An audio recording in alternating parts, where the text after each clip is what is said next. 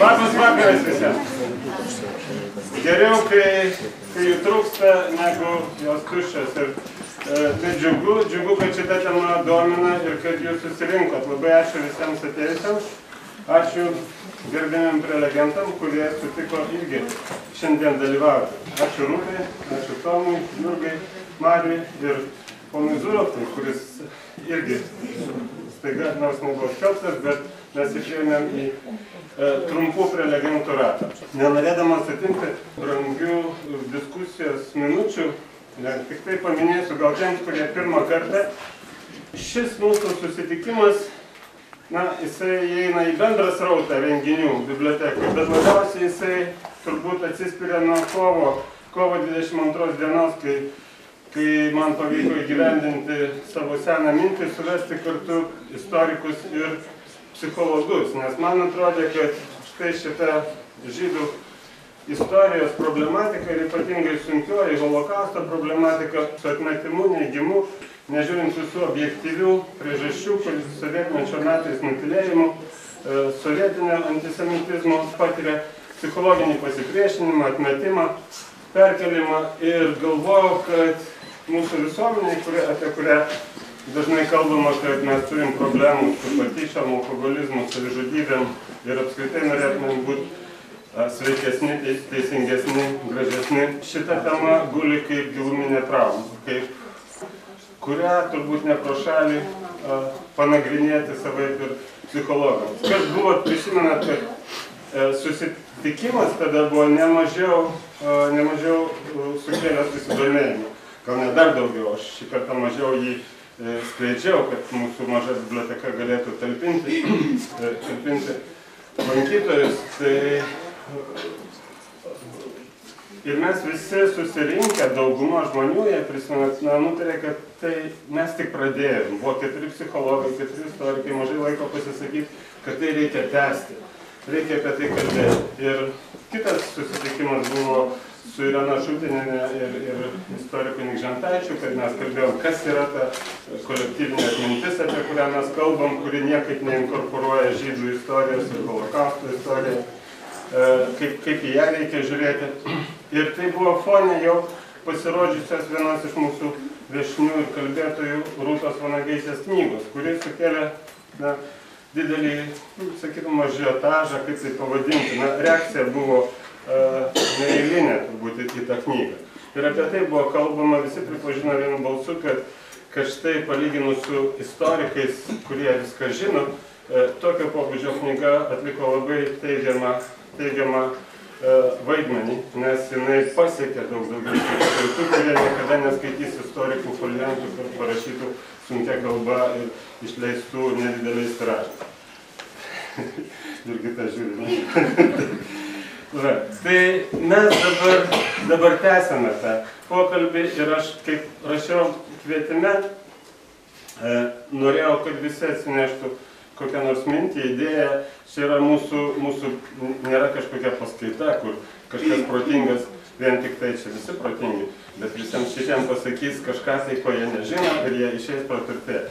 Aš manau, kad labai svarbu mums kartu pagalvoti, pasidalinti ir, ir tokiu būdu aš tikiuosi, kad, kad sklis, sklis tos mintys ir aišku tikiuosi apie teigiamą poveikį.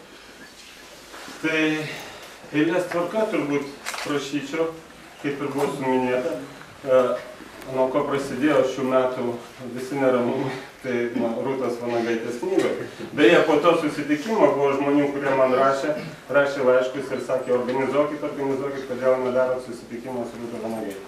Pagaliau štai mes jį turime.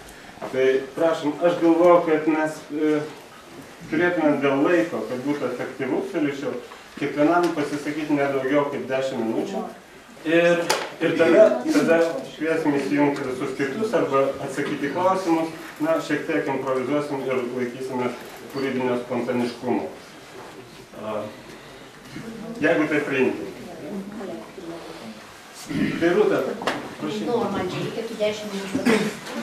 kaip ir maniau, kad aš knygoje viską pasakiau ir galvojau, kad niekada prie tos temos negrįšiu, kad dariau savo, kaip sako, Mauras padarė savo, Mauras gali eiti. Ir, ir tikrai, kai tą knygą, kai rašiau tą knygą, tai maniau, kad aš atliksiu pilietinę pareigą ir niekas jos labai neskaitys, dėl to, kad vis tiek tokia, kaip sako, grūzas, mano visos draugės ir draugai sako, kad mes nenorim negatyvo ir mes neskaitysim. Mano vaikai sako, mes negatyvą va tiek prisižiūrim, mes irgi neskaitysim. Žodžiu, galvau, kad niekas neskaitys, išskyrus kelis tautininkus, kurie gal paskui padangas pradurs. Bet tų tautininkų atsirado labai daug. Ir iš tikrųjų, aš labai džiaugiuosi, kad knyga sulaukė iš tokio milžiniško rezonanso. Labai liūdna, kad praradau draugų ir giminaičių.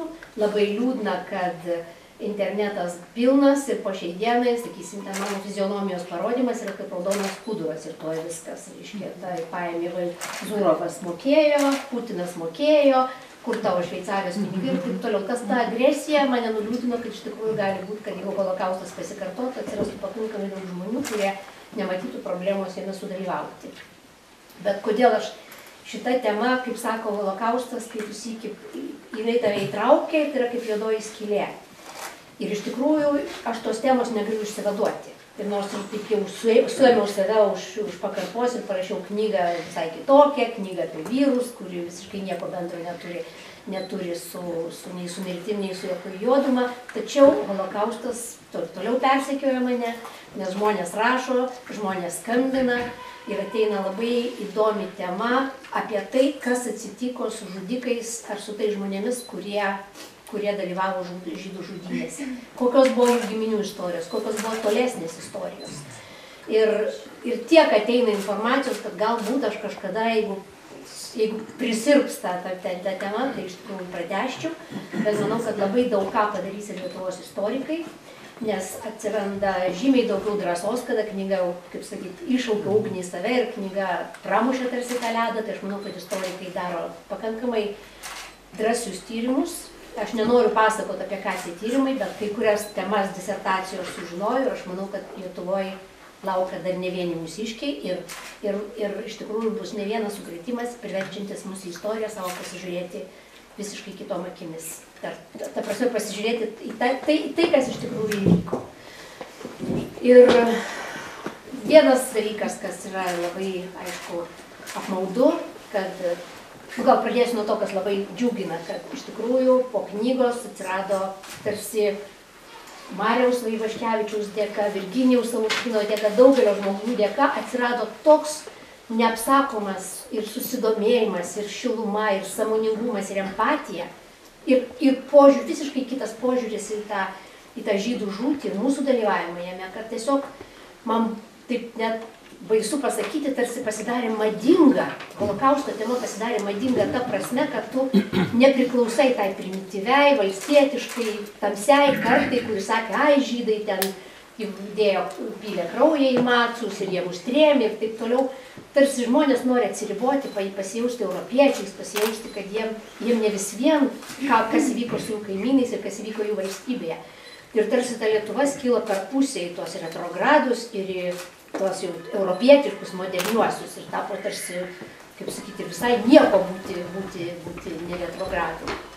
Tai gaila mano, mano giminiai, mano artimų tarp yra pakankamai daug tų retrogradų ir kaip vienoje diskusijoje labai įdomiai pasakė Rimvidas Valatka, kad sakė, prieš tavo knygą yra nusistatę ne tauta, o tokie žmonės, kurie yra pusiau išsilavinę.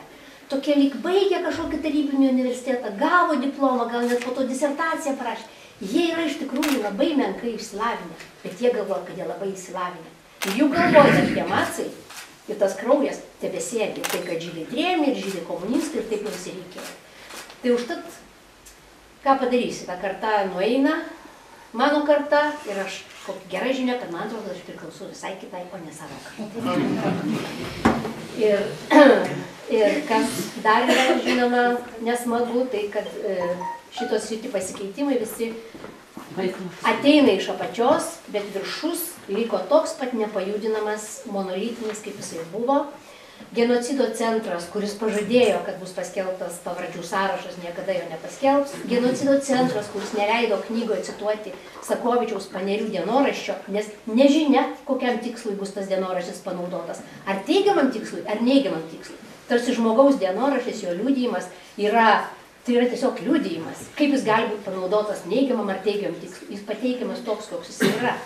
Ir, e, sakysim, tas priešiškumas, kurį sulaukiau iš oficialiosios Lietuvos ir tas nenoras vis tiek pripažinti, kad tai buvo nesaujelė e, išsigimėlių, kad tai buvo tikrai normalūs tie lietuviai, kurie žudė ir kad jų buvo nepaprastai daug ir kad tai buvo didžiulė mašina sukurta, prasidanti nuo laikinosios vyriausybės per visas administracinės struktūras, iki tų berniukų, kurie nuėjo tarnauti dėl, dėl Lietuvos, o buvo įvelti iš žudynės, šito oficialiai Lietuva tikrai nepripažįsta ir yra nepasiruošus. Bet aš manau, kad iš apačios ateis tas toks spaudimas ar supratimas ir tai, kad Marijos organizuotojai ir, ir, ir grįžos e, e, akcijoje molėtose jau dalyvavo Lietuvos valdžios atstovai, vadinasi, jau jie pradėjo jausti, kad elektoratas keičiasi. Kad jau gal ir nieko galima jau nueiti ir pagerbti žydus, dėl to, kad vis tiek reikia žiūrėti į elektorato nuotaikas.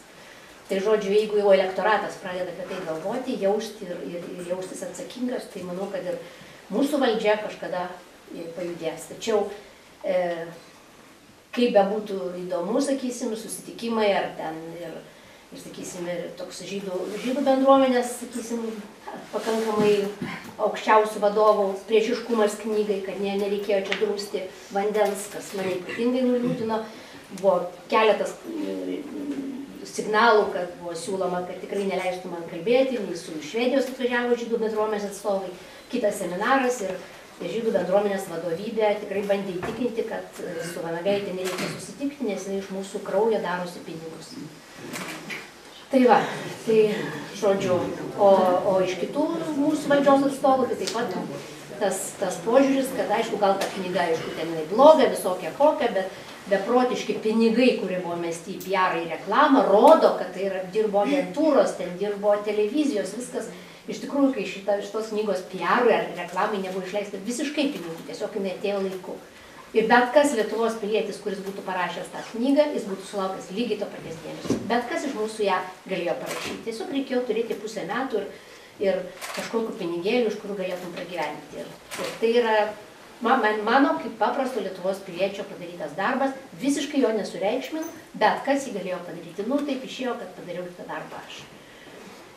Ir dabar rašysiu apie kažką kitą. Tai jeigu būtų kokių klausimų, ar, sakysim, ar toliau diskusijų, aš mielai, mielai kalbėsiu, bet manau, kad esmę pasakiau, gal tik paskutinį dalyką pasakysiu, kodėl manęs holokaustas nepaleidžia, lygiai taip pat, kaip aš kažkada domėjausi senelių slaugos problema. Ir po to, kai nuvažiuodavau į kokius nors ten saugos namus ar, ar globos namus ir pamatydavau kažką, kas mane šiurpina, aš iškart imdavausi veiksmų. Dėl to, kad jaučiausi atsakinga. Aš jau, jau ten mano hebra, aš už juos atsakinga, kaip aš atsakinga už tos gulinčius 227 vietos. Aš už juos atsakinga. Ir lapkričio pirmą aš nuvažiuoju į savo visų artimųjų kapus, paskui aš galvoju, aš turiu nuvažiuoti, nu, taigi ten niekas nenuvažiavo. Nuvažiuoju į Veličionius, nuklampuoju tenai ir aš matau didžiulį ženklą, parduodamas sklypas. Ką aš turiu galvoti, tai kas jeigu ne aš, paskambins tam pardavėjui ir paklaus už ką ir kaip ir tikrai gali, galiu tą namą statyti ir už kiek jis man parduos, ar galėtų namą statyti. 35 tūkstančiai. Aš sakau, ten likti tokių kaulų biski yra, sakau, ne, sakau, ten keli kaulai, kuli ten toks paminkliukas, nieko ten ramiai gali statyti.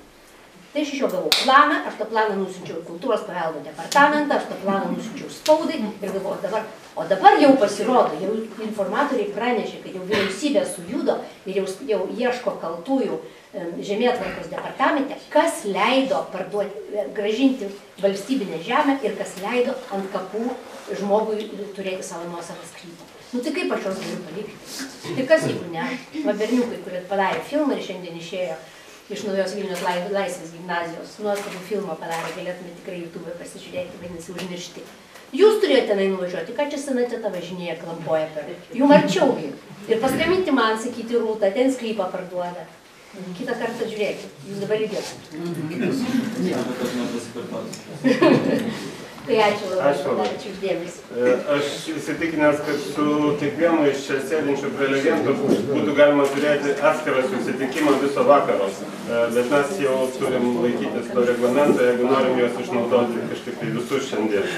E, tai žinom, kad žinot, čia dirbant man bibliotekoje ir stebint visą tai, manau, kad daug, daug kas sutiks, ką stebint. Stebint tą vyksmą informacinį, tai atminties gaivinimą, negaivinimą, atrodytų, kad reikalai tarsi gerėja. Vairūtos knyga, aišku, daugiau publikacijų, daugiau žmonių, daugiau e, organizacijų ir šita biblioteka stengiasi e, e, prie to prisidėti. Ir, ir paskutinės, nors tikriausia, tai Tai objektyviai, jeigu žiūrėtum sociologiškai, tai dar yra ko gero lašas jūroje. Bet kada, kada esi, esi vidury šitų įvykių, atrodo, kad vis dėlto liktai situacija tikrai nepalyginamai prieš dešimt metų nu, ir buvo daug prastesnė. Ir šią vasarą nuvilnėjo ypatingai pirmą kartą, na, molėtai taip nuskambėjo, aš žinau, kad buvo ir kitose, ir žagariai, ir rokiškai, ir zarasuose minėjimai, ko gero, pirmą kartą ir, ir tokios pirmos kregždės. E, Ir kaip e, Rūta paminėjo, kad sujudo politika elektoratas, tai mes e, dalyvavom kartu radio laidoje Svobodos. Aš džiaugiausi įspėjęs, sakiau, man atrodo, kad po Marijos Ivaškevičiaus straipsnio, kuris padarė tokį didelį poveikį. Aš manau, kad politikai jau dabar reaguos, jie jau dabar supranta, kur reikia rinktis balsus ir, ir kas svarbu.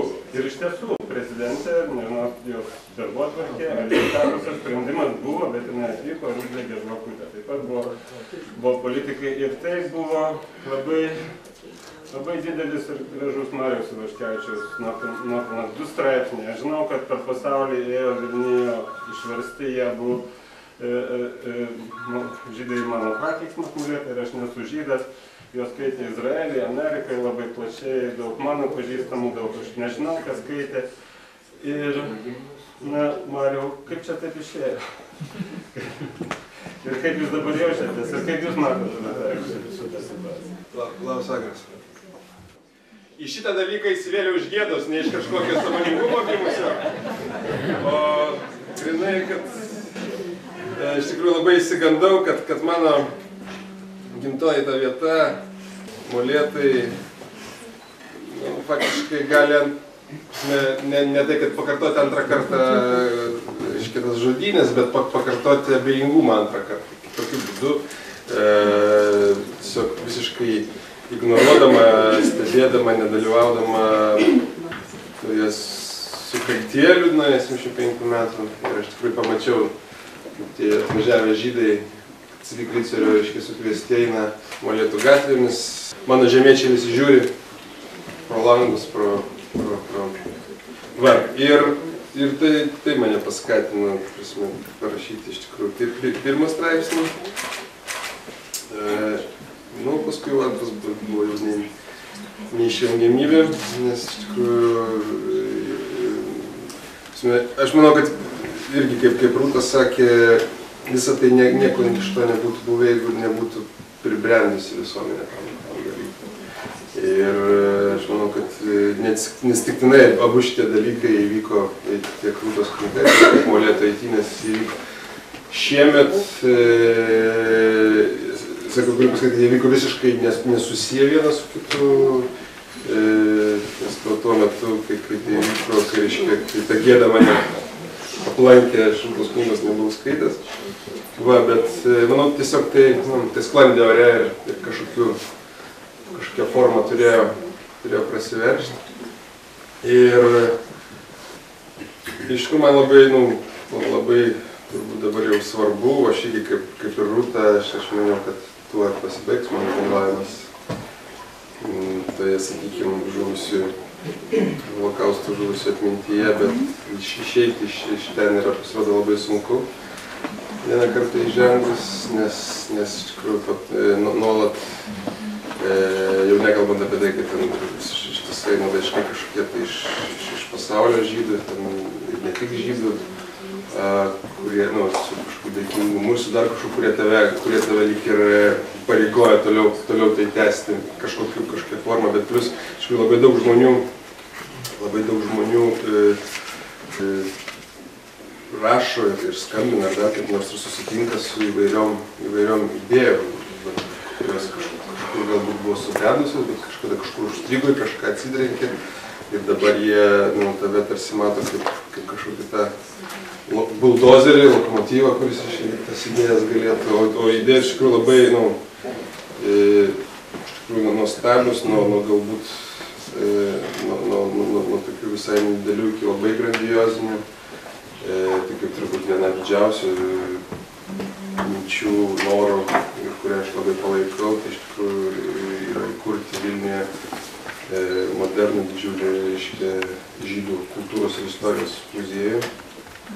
E, Aš manau, kad tai būtų, tai būtų turbūt to, to lygu sinagogos atstatymui didžiosios ar, ar e, e, kitos idėjos, pavyzdžiui, e, pastatyti autostradoje Vilnius Klaipėda didžiulį modernų kažkaip tai saulė ten skirtingai reaguojantį paminklą holokaustui, kuris, aiškiai, būtų matomas visiems pravažiuojantiems ir mums, ir lietuviams, ir nelietuviams. Trečias, tarkim, nežinau, idėja, tiesiog mintis, kad, tarkim, Rumšiškės, kur, kur gyveno labai daug žydų ir, ir sudarė didžiąją, dalį gyventojų, mes šiandien turim grinai, reiškia, etnografinį lietuvių muziejų. Ar nebūtų teisinga šalia to, reiškia, tos lietuvių ekspozicijos turėti žydų ekspoziciją? Vėl, vėlgi kažkoks, kažkoks e, prisiminimas, priminimas tų, tų, tų, tų, tų žmonių, kurie, kurie buvo mūsų, mūsų visuomenės dalis, mūsų šalies dalis. dalis. Va, ir, ir aišku, ir šalia to labai daug, kas mane labai stipriai, nu, turbūt nustebino, nudžiugino, labai daug buvo skambučių ir laiškų iš įvairių e, miestelių, molėtų dydžio, šiek tiek didesnių kur irgi, irgi įvyko, reiškia, e, didesnio ir mažesnio masto žudynės 41 metais ir kur žmonės prašė e, pasidalinti, kažkaip duoti idėjų, minčių, kaip jie galėtų kažką panašaus padaryti savo, savo miesteliuose. Tai rašė lietuviai, tai rašė žmonės netgi iš, iš, iš, iš, iš merijų savo ir, ir nu, man atrodo, tai buvo labai, nu, labai toks optimistiškai nuteikiantis dalykas, tas noras, niekieno neverčiamų noras patiems padaryti, surasti kažkokią formą, formą ir, ir, ir prisiminti, prisiminti šitos žmonės. Na, nu, aš asmeniškai, e, sakau, man, man turbūt didžiausias pasiekimas buvo, kad e, po to iš tikrųjų šita vieta, kur, kur, e, kur molėtų žydai guli, iš tikrųjų buvo tikrai visiškai, visiškai nelankoma vieta, galbūt, galbūt porą kartų per metus ateidavo moksleiviai iš, iš, iš mokyklos padėti žvakučio ar kažką. Dabar, dabargi tai yra vieta, kur a, dažnai matau ateinančių žmonės, arba ten stovinčius ir, ir, ir tiesiog supranti, kad tie gyventojai mano miestelio lygiai kaip ir aš, jie, nu, jie, jie per mažai žinojo apie tai, kas įvyko ir tapsime jiems taiga atsiveria akis, jie suprato, su, kad prasme, jie suprato, koks tai buvo miestelis ir suprato, kur, kur, kuris dingo, kuris, kuris nugarmėjo. Ir sakau, man, man tai molėt, ta visa eitynės ir, ir, ir ateimas jau į tą vietą, man tai buvo tarsi tų žmonių palaidojimas, tarsi ten tol gulėjo, nu, buvo nusikaltimo vieta, kur jie gulėjo tiesiog nužudyti ir užkasti ir, ir tą dieną ta nusikaltimo vieta tapo kapais. Aš Marijai siūlau e, nepamiršti klausimų, kuriuos norėjot užduoti tiek Rūtai, tiek Marijai, nes mes einam prie kitų kalbėtojų. Ir tokiu būdu išliks tikriausiai patys svarbiausi klausimai.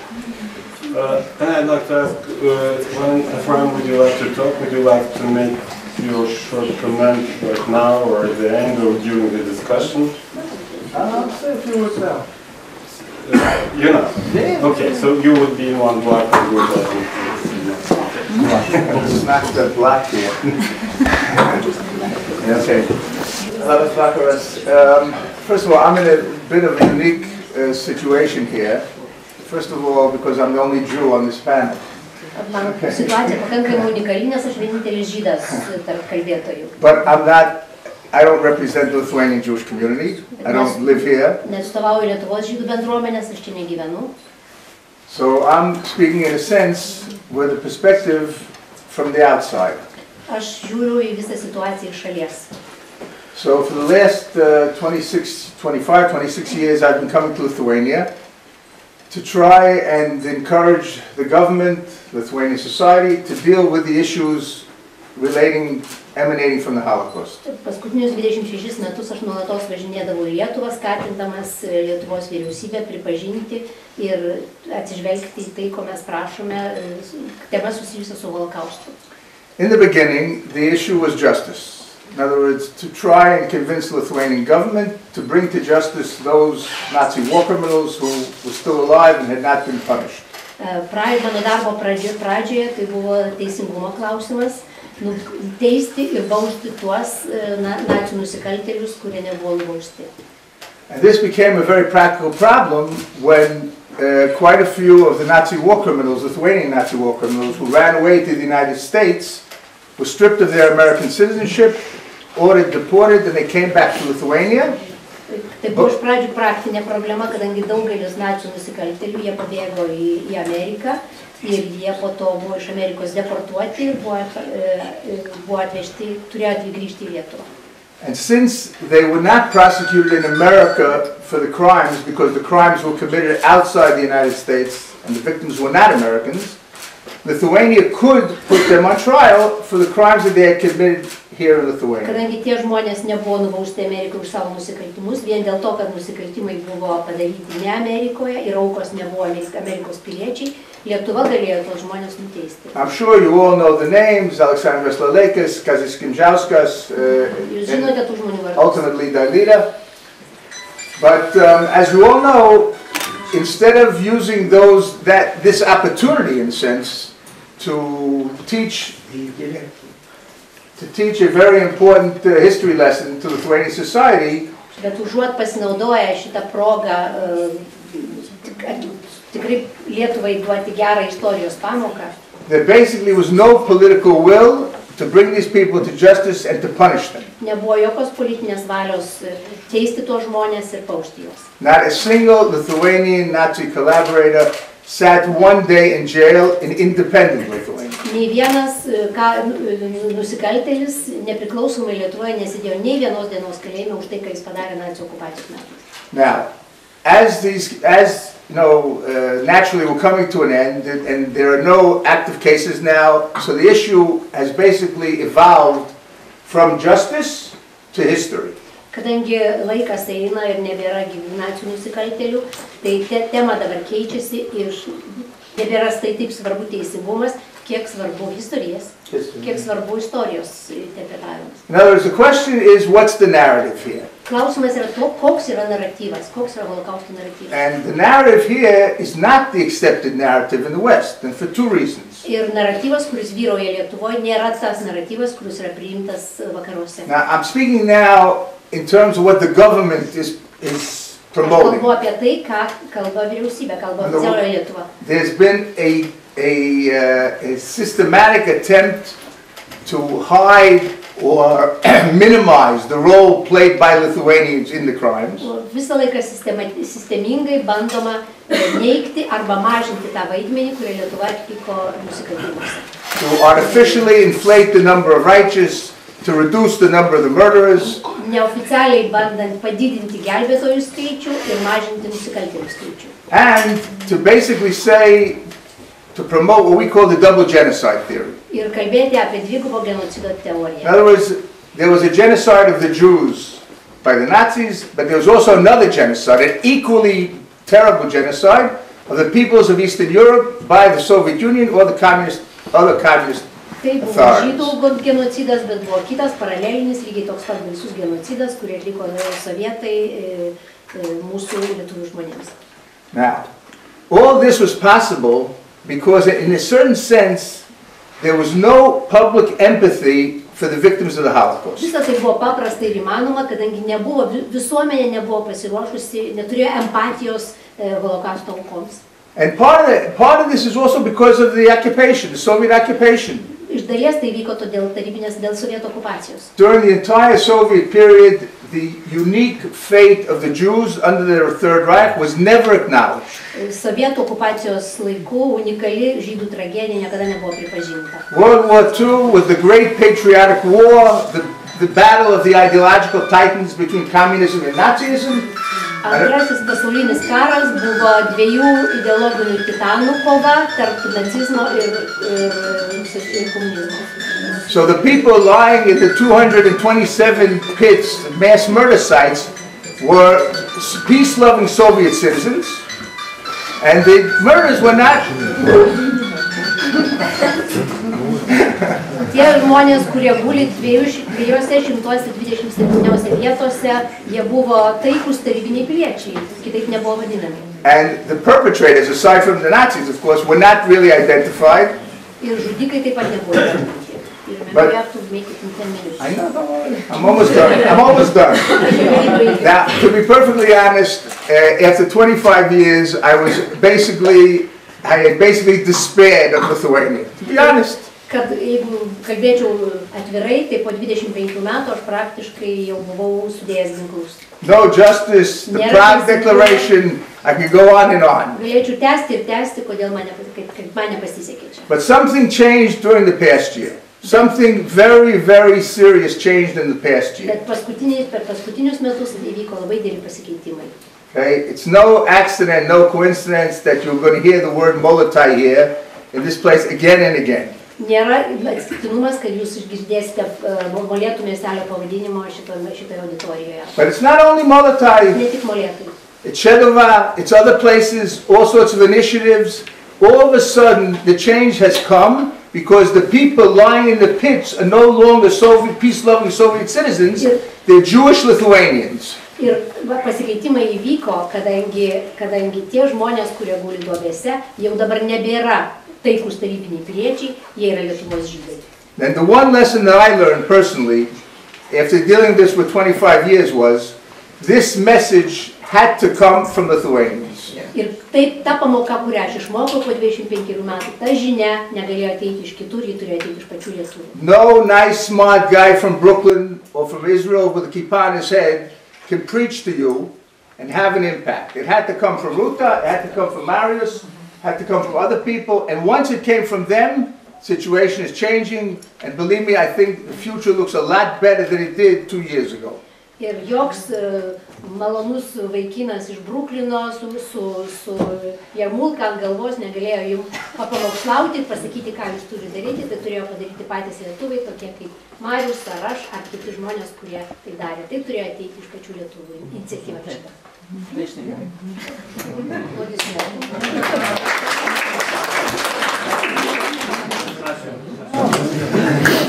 Na ką, o dabar eilės tvarka gal prašom e, pasakyti savo žodį istoriką, istorikę, šiuo atveju, kas, kas dar turėtų būti padaryta ir e, ko trūksta, ką istorikai čia galėtų nuveikti, ko, ką, ar jie jau viską padarė, ką dar turėtų padaryti. Gal aš nemoku užduoti tokio klausimo, Jurgitai, e, kurį jinai e, laikytų svarbiu, tai tegul jinai atsako tą klausimą, kurį, kurį pati savo išklausė.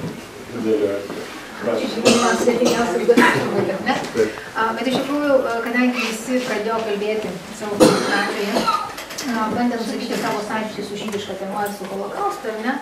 Tai kad tą reikia padaryti ir man, nes turbūt, kad priešingai negu čia esantis, išskyrus turbūt ponas Zuroką, aš toj temoje esu ilgiausiai, ar ne? Ir esu nuo pradžios šitos temos atsiradimo, kaip ir ponas Arūnas Bubnys, ar ne? Esate esantis auditorijai. Tai yra, man šia- šiandieną, kai mes šnekame apie šitos metus, ar ne, aš šiandieną matau lūžį, bet nematau vis, viso proceso pradžią. Yra tie dalykai, kurie įvyko ir molėtai, ir ponios Ultos knyga atėjo.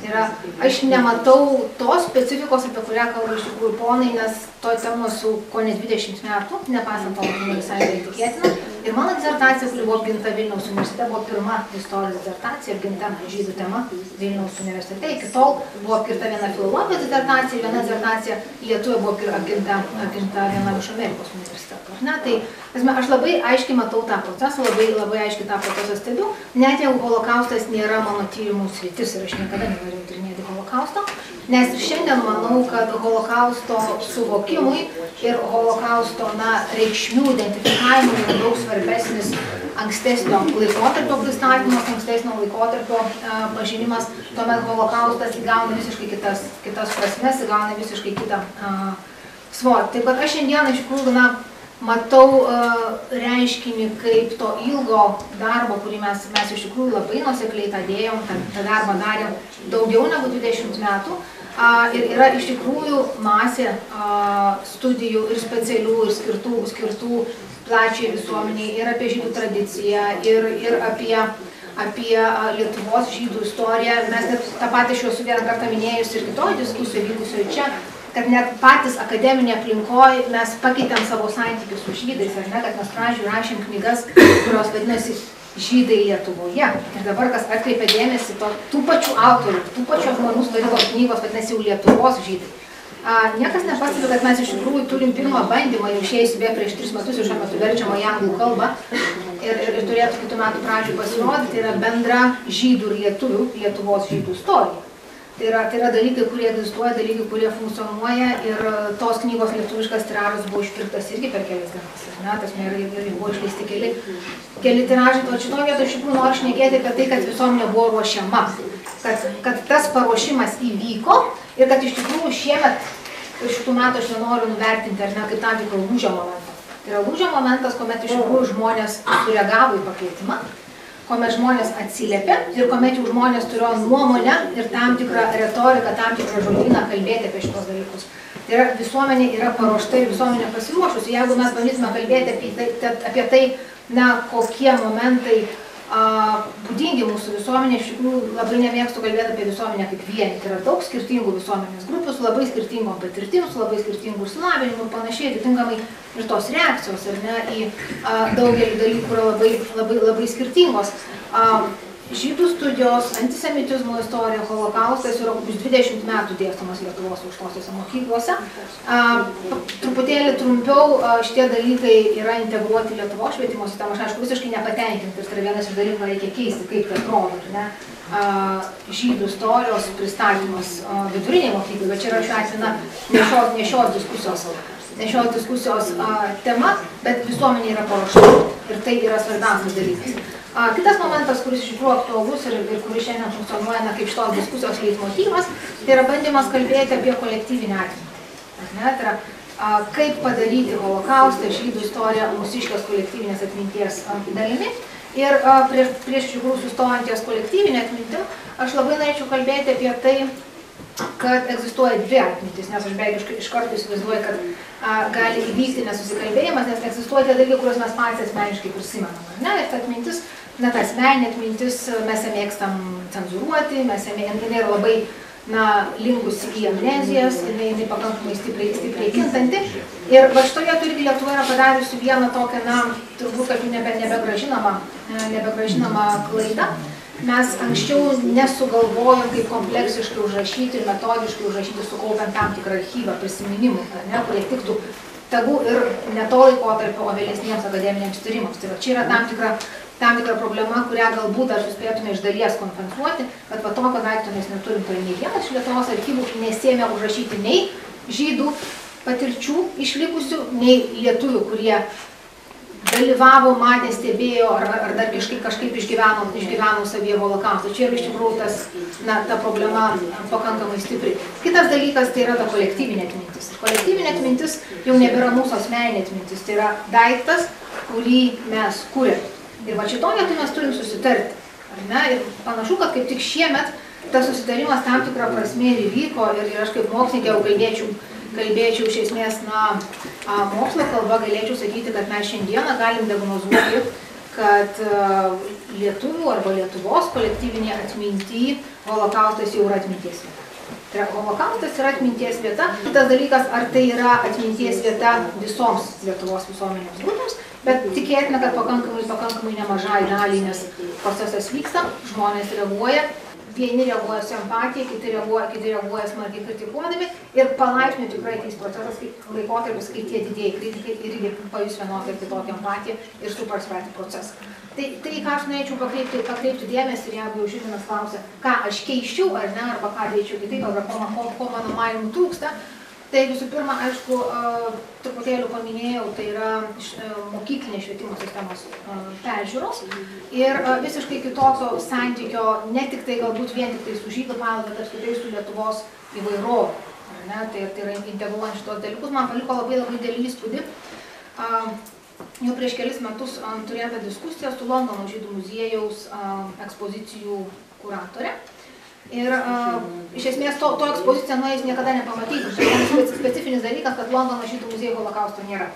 Holokaustas yra pristatomas karo muziejui ir ne kaip, kaip antro pasaulinio karo, karo vienas iš a, dalykų. Ir ką bando pasakyti, kokią bando, bando pasiūsti žinutę Londono žydų muziejus, o, o žinutė labai paprasta, kad emigracija yra gerai, kad emigracija, kitoniškumas ir įvairovė mus praturtina, ar ne? Tai mes turėtume irgi susikurti arba atrasti savo žinutę, kuri būtų atpažįstama, paveiki ir racionali mūsų istorijos kontekste, daranti įspūdį mūsų žmonėms ir mažinanti bet kokią atskirtį. Yra švietimo sistemos peržiūrė, vienas dalykas. Antras dalykas, iš tikrųjų labai taip na, racionaliai svarstau apie a, žiniasklaidą ir žiniasklaidos ir įtaką žiniasklaidai. Šiuo atveju prastai žiniasklaida mus įtakoja, bet aš labai aiškiai matau didžiulę problemą, kai a, rimtus renginius, rimtas diskusijas, tokiuose periodiškai iš tikrųjų ta- tampa, tenka dalyvauti, į žiniasklaidą pakliūna ne esminiai ten pasiekti. Va čia kaip tik dabar gal, turėsim irgi tam tikrą eksperimentą, galėsim pažiūrėti, ką, ką apie šiandien ar ne? A, kai žiniasklaida pakliūna net ne patys svarbiausi dalykai, apie kuriuos buvo kalbama, bet pakliūna tie dalykai, kuriuos žurnalistai suprato ir kurie yra parduodami.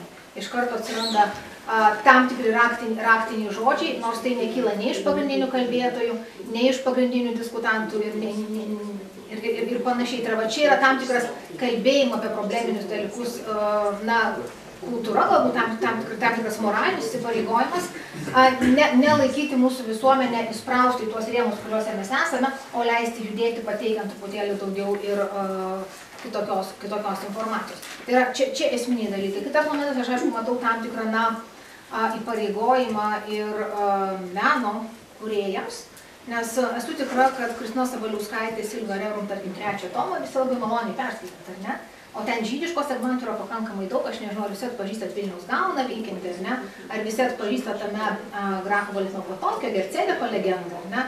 Ar visi atpažįstat na, tą 18 amžiaus antros pusės žydų bendruomenę vilnietišką? Bet tie, tie sužetai susivalgo, ne? Ir tai yra ne holokaustas, tai yra, tai yra na, gilesnis, gilesnis pažinimas, ko mums šiandieną iš tikrųjų trūksta ir to, ko ir mokyklos tikisi iš mūsų, to, ko mokytojai tikisi iš mūsų ir matyt, kad visuomenė lygiai taip pat tikisi iš mūsų. O ir galima jūsų paklausti? Taip, iš karto, nes jūs sakote, kad visuomenė buvo paruošta, ne? Bet ta visuomenė buvo paruošta tam, kad žudė nesaujelė išgamų, nesaujelė išsigimė, o viso, visa Lietuva tame dalyvavo, visuomenė buvo tam paruošta. Kada laisvės, laisvės šitą gimnazijos moksleiviai nuėjo pas savo istorijos mokytoją, sakė, darysim e, apie holokaustą filmą, mokytoja pasakė, tai reikėtų kažkaip tą temą užglaistyti. Kam apie ją reikia? Taigi mūsų tauta kentėjo. Aš tikrai nesutinku, kad visuomenė buvo paruošta sutikti, kad labai daug lietuvių ir visa administracija ir visa vyriausybė dalyvavo šitame. Saujelė išsigimė, štai ką mes buvom paruošti. Bet Rūta, Ar ne taip? aš Rūta pasakysiu. Nepykit, kad aš taip ir Ne, ne, aš su to agresija susidūriau, kad mūsiškiai, nei mūsiškiai buvo, nei mūsiškiai buvo. Taip, ir dėl Ne lentos norėjai.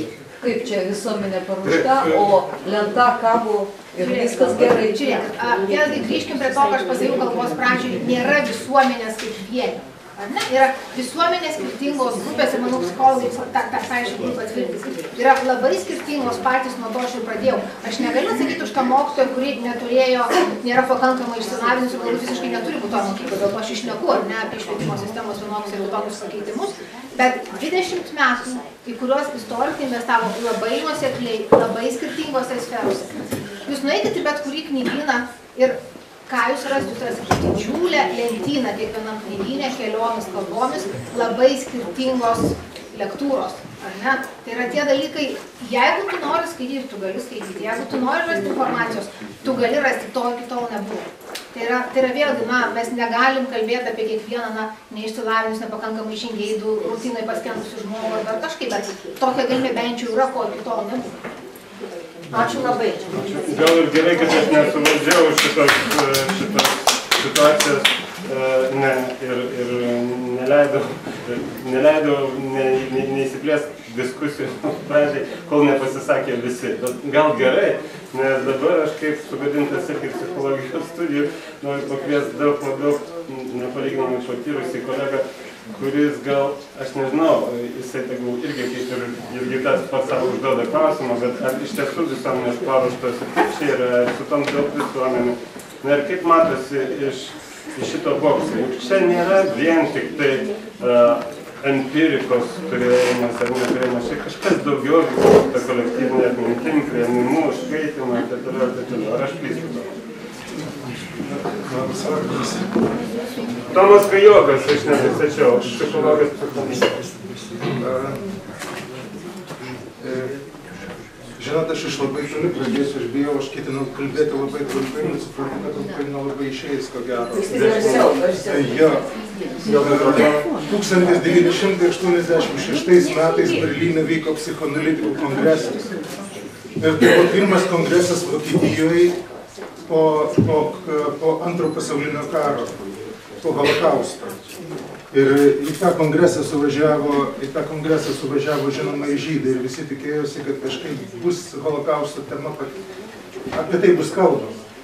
Ir, ir po to 86 metais du žydų analitikai Mozės Uršovskį ir Mozės spausdino, spausdino tokį tekstą, jie pasakė, kad iš esmės įvyko holokausto paneigimas dideliu mastu pačioje konferencijoje praėjus 40 metų po holokausto. Ir viena iš problemų yra ta, kad mes ko gero esam linkę į tą dalyką žiūrėti akademiškai. Ir kada, kada tu užėmė akademinę poziciją, tai yra vienas iš labai subtilių būdų atmesti ir pasakyti, kad tai nevyko su mumis, tai vyko su kažkuo ir žiūrėti tai iš istorijos perspektyvos.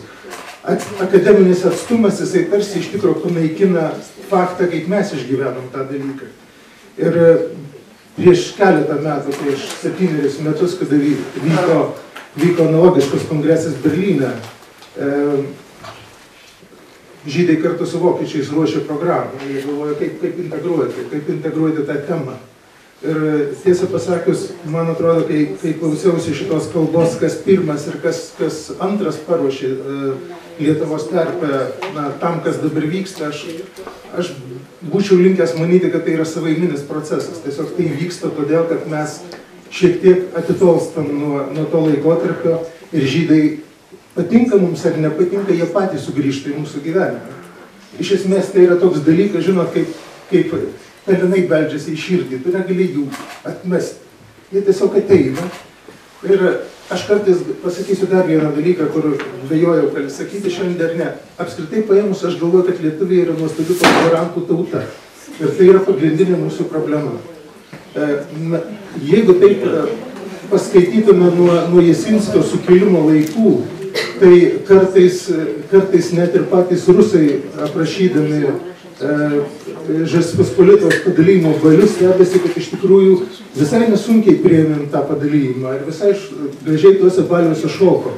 Ir, ir galbūt aš kartais klausiu savęs, ar gali būti, kad per tos 200 metų, kai mes, kai, kai, kai iš tikrųjų buvom tokia, na, pavergt, pavergtas kraštas ir kažkokiu būdu, na, praradęs tapatybę kraštas, viskas 20-30 metų per kažkokius sukilimus, tuos pačius neramiausius vis pašalindavo, nuimdavo. Ir geriausiai išmoko išlikti tie, kurie buvo, nu, tie tokie ištvermingieji, tie, kurie sugeba neįsišokti, kurie sugeba išlaukti, kurie sugeba nedalyvauti visur.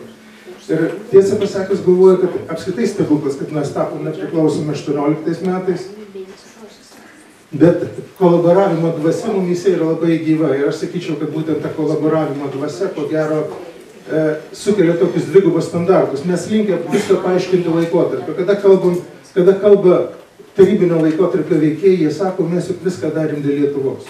Užėmėm aukštas vietas ir stengiamės ir nomenklatūra, viskas buvo dėl Lietuvos. Kada kalbam apie holokaustą Lietuvoje karo metais, lygiai atsiranda tas pats diskursas, tai mes darėm dėl Lietuvos. Kito, kito nebuvo galima, reikėjo kažką žudyti. Ir, ir čia, yra, čia yra, ko gero, viena iš pagrindinių problemų, kad mes bandom tai paaiškinti tam tikrų istorijos diskursų ir bandom atsitolinti, pasakyti, kad tai nebuvo su mumis. Ir vienas, vienas iš tų na, neišvengiamų dalykų, žydai grįžta į mūsų gyvenimą ir kaip mūsų istorijos dalis, kada tu paini pažinti, pradedi pažinti Vilnių, Vilnių, kuris yra nepažįstamas miestas, jis yra nepažįstamas lenkiškas miestas, jis nepažįstamas rusiškas, bet jisai ir žydiškas nepažįstamas miestas. Ir kada išeina knygos, nebūtinai parašytos žydų tyrinėtojų, bet kada išeina knygos apie miestą, taigi supranti, čia buvo tas, čia nebuvo anas, čia buvo, čia gyveno žydai. Ir aš papasakosiu istoriją, kuri prasidėjo gerokai anksčiau negu, negu Rūdos knyga. Mano vaikystės draugas Jonas Grundais yra skulptorius nedideliam miestelėje Ignalinoje, turi savo galeriją ir jis ten kūrė. Ir jisai laimėjo konkursą Ignalinos 150 metų jubiliejų. Ir e, Jonas yra nepaprastai, Jonas Grundai yra nu, nepaprastai prožytiškas, galėčiau sakyti taip. Jisai, jisai laimėjo konkursą ir paskui sako, žinai, sako, aš taiga supratau, kad du trešdaliai miestelio tai tuo metu buvo žydai, gal net daugiau. Ir sako, aš pagalvojau, kaip aš galiu pastatyti paminklą nieko neįrašydamas. Bet, bet e, nebuvo sąlygos, niekur nebuvo nieko žydiško, neturėjo būti. Ir vis tiek Jonas sugalvojo iškalti, jis pastatė paminklą ir kai jisai buvo pastatytas, ant paskutinio tokio paminklo pamato jisai iškalė eilutes iš e, pranašų knygos. Teisiųjų laiminamas kyla miestas. Ateina miestelio valdžia ir sako, tai nebuvo tartas. Neturi būti. Šitos eilutės, jos, jos konkursą, nes reiškia, tam projektui nelaimėjo. Reikia ištrinti. Sako, Jonas, aš netrinsiu. Sako, tada tau teks gražinti honorarą. Jonas sako, velnės, nu, dalies negavau, bet reikės gražinti ir tą, ką gavau kaip avansą. Ir galvoju, sako, turiu visą naktį. Ir galvoju, ir galvoju, nu negaliu, sako, aš negražinsiu. Čia yra mano principas. Nu ir per tą naktį kažkaip miestelio valdžia apsigalvoja apsigalvoja ir ateina ir sako, nu gal žinai, tegu lieka. Ir tas, jeigu jūs busite Ignalinai, pasižiūrėkit ant, ant miestelio centre, aikštėn paminklo, hebrajiškų šriftų iškalta lietuviškais rašmenim, teisėjų laiminamas kylų miestas. Tai yra, tai yra paprastas įvykis, kurio gal daug kas net ir nepastebėjo. Miestelio valdžia tai nutylėjo, paskui pasakė, kad jo, čia mes galim tuo pasididžiuoti, bet čia yra tas, tas ta terpė, kuri, nu, ko gero, jinai tyliai veikia visada ir tokių žmonių yra. Tai man atrodo, kad gal tiesiog ateina kita karta, kuri yra pajėgi kalbėti. Ir yra dar vienas dalykas, jeigu kalbėti apie holokaustą, žinot, aš galvoju, kad kada mes kalbam, kad mes galime spręsti holokausto problemą Lietuvoje ar kažkaip rasti atsakymą tai, aš sakyčiau, kad tai būtų dar vienas būdas paneigti ir atsisakyti to. Nes dialogas, kuris vyko, vat, ką tai dabar, tarp lietuvių, tai svarbiausia, ne tarp žydų ir lietuvių turėtų vykti dialogas, o dialogas turėtų vykti tarp lietuvių ir mes turėtume aiškintis tarpusavį. Ir pats dialogo buvimas iš esmės ir būtų, būtų tam tikras holokausto įamžinimas, kad mes turėtume suvokti, kaipgi taip atsitiko, kad tai atsitiko Lietuvoje. Mes taip gerai apie save galvojam ir Ir aš nežinau atsakymą. Tiesą pasakius, visada didelėse grupėse yra jos linkęs kilti, jos didelėse grupėse vis atsiranda vieni yra už, kiti prieš. Bet jeigu mes galim kalbėtis ir jeigu mes įsiklausom ir, ir, ir atsakom į tą, na nežinau, į tai kažkokio kraštutinio tautininko um, pasipiktinimą, kad mes pamiršom tremtinius, tai, tai mes vis tiek jam žinom, mes atsakom, atsakom tai žodžiais, kuriais turime atsakyti. Ir tiesą pasakius, galvočiau, kad nu, tiesiog, tiesiog diena po dienos eis ir kalbėsim. Aš nesu toks didelis optimistas, kuris manytų, kad Lietuvoje nuo šios dienos yra, a, nėra antisemitiška, aš gal taip pasakyčiau, per neįgimą. Mes per daug narcisistiški ir patys per daug esam vertinam savo traumas. Ir labai nenori, nenori keičiam savo traumas į svetimas. Ir tai viena iš problemų. Ir nežinau. E, žinot, e, šiais metais lygiai taip pat vyko rinkimai, kuriuose buvo, buvo vienas iš plakatų, kur, kur neįleisim jų į savo šalį. Tai yra tas pats, tai yra geto principas. Ir jeigu, jeigu tai gyvoja, tai gyvoja mūsų šalyje ir tai buvo šiokia tokia reakcija visą tai, nu aišku, ta partija, sakykime, minimaliai pateko į, į parlamentą. Bet e, pačios antisemitizmo dvasios ir nepykantos kitoniškumo yra pakankamai daug. Ir, Ir šitame, šitame kontekste irgi holokaustas yra labai svarbus, nes tai yra to neapykantos kitoniškumo apoteozė. Ačiū Tomai. Na ir po visų pasisakymų dabar laikas visiems pasisakymam arba klausimam. Ir man labiausiai pasigirdo didžiausias konfliktas prieštara iš tikrųjų mes e, paruošti ar neparuošti, kiek mūsų visuomenė, kokia dalis tos visuomenės e, pasiruošusi ir jeigu susijęti su tamo pasisakymu, ar, ar tą geto, geto dvasę iš savęs mes e, dalis visuomenė pasiruošusi išgyvendinti, ar jau išgyvendino. Ir, ne, nežinau, gal yra kiti, kiti mato kitų, kitų kampų. taip. Pirmą ranką pastebėjau. Jo, aš į šitą temą iš tiesų. e, Tai jeigu mūsų istorikai mano, jog jie 20 metų ruošia, dirba šios knygos atsiradimui, tai tik rodo, kaip gerai jie apie save galvoja. Nes informacija, kurią jie pertikinėjo, gal geriau pasakyti, pardavinėjo, kokiais jie būdais pardavinėjo mūsų visuomenė šią informaciją, m, man kaip šitos informacijos prieimėjai e, kėlė tik atmetimo reakciją ir norą kuo greičiau pamiršti ir nurašyti nuostolius. Tai, tai labai nesutikčiau su istorikų įsivaizdavimu, jog jie sako, kad nu, jie ruošia ir dirbo. Ir kol rūtos knyga atsirado. Mes neruošėm dirbo su Ne, jūs labai savo darbą. Aš, aš kalbau tai, kad mes dirbom savo darbą ir mūsų, mūsų darbo, darbo vaisių pasiekoja, ne, arba rezultate. Tiesiog atsirado terpė tokiai knygai pasirodyti, tokia knyga priimti. Aš nesakiau tai, ką jūs pasakėte, bet aš noriu paklausti, ką jūs skaitėte. Ką skaičiau? Taip. Aš skaičiau iš tiesų rūtos knygą. Iki Tai tol. jūs nieko neskaitėte. Taip, Tai taip, taip. Taip, nes man, man yra 30 metų, vidurinė mokykla mane paruošė labai vidutiniškai. Ir istorijos aš toliau nestudijavau, aš studijavau fotografiją ir dramaturgiją. Ir, Mokslininkai, ir, istorikai nerašo istorijos vadovėlių. Čia visiškai kitas, mes net neruošiam istorijos mokyti, iš mūsų tas yra atimta. Tai jeigu jūs nieko neskaitėt, mes neturime. mes turime, aš esu rinkodaros specialistas ir, ir jūs teigiate, kad jūs ruošiate dirbą. Kuo aš prieštarauju, aš esu šitos dirbos vaisius ir man, mane, ta informacija, kuri pasiekdavo, man būdavo, aš ją norėdavau nurašyti nuo- į nuostolį. Tai aš klausiu, ką jūs skaitėte, jūs negalite pasakyti. Tai mes tada nebe... Aš skaitau tai, kas yra bestselleris, tą, ką man parduoda rinkodara. Ir jinai darbą nudirbo, o jūs ne. Turim pavyzdį nesusikertančių visuomenių. Ir aš jumis nenoriu istoriniam kontekste diskutuoti, aš esu vartotojas. Aš, aš klausiu, kada jūs buvote knyginė, kada jūs pasėmėt mokslo populiarinimo knygas, jos nepasėmėt. Tai aš jų negaliu namo atnešti prie lovos padėti. Man jos niekas nepardavė, pradėkime nuo to. Daumantai, Visi atsimename paprastą principą, kad bačka sprogtų turi atsirasti vienas litras metro aukštumo vandens, kaip pilna bačka. Tas ir įvyko. Ir labai gerai sutapo du reiškiniai, kad gerbiamas Rūtos knyga sukėlė baisų šurmulį, sukėlė visą purvą, kuris išbrydo baisiausiam replikom, neapykaito ir daliai normalių žmonių pasidarė būti nepatogu šitoje pusėje. Ir Mariaus kvietimas labai gerai juos. Buvo parodyta pozicija, kad ne visi tokie. Taip kad ir ruošė istorikai, ir, ir, ir Rūtos knyga sukėlė skandalą, ir tai gerai prisimename mm, knygą, kurią parašė Benjaminas e, Maiklas ir, ir Robertas Lee apie papirusus, apie Jėzaus š- istoriją. O visi žino tik tai Dan Browną, kuris parašė bestsellerį. Ir skaito ir žavisi, kaip jie žino istoriją. O tokią knygą būtų perskaitę, būtų reikės skaityti šimto bestsellerių ir panašiai. E, Mes tarėmės pradžioje, kad mes sakysime, ką reikia daryti, kad šitą temą kažkaip vystytųsi. Tai visų pirma, ačiū lietuviam, kurie tai daro, tai tikrai ne mes turime daryti, o turi daryti lietuviai. Tai yra Lietuvos tragedija ir mes esame jos dalyviai, bet būtų geriau, kad apie tai kalbėtų pagrindinės tautos atstovai. Lietuva yra katalikiškas kraštas.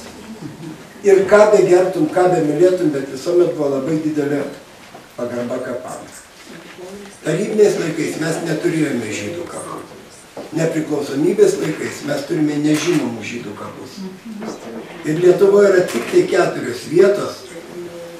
Ir tik viena iš jų yra įamžinta į akmenį, kur mes galime pasakyti žuvusiųjų vardus ir pavardę. Dusetose atsirado dar ne į akmenį kalta, bet jau atsirado pavardės ir gimimo metai.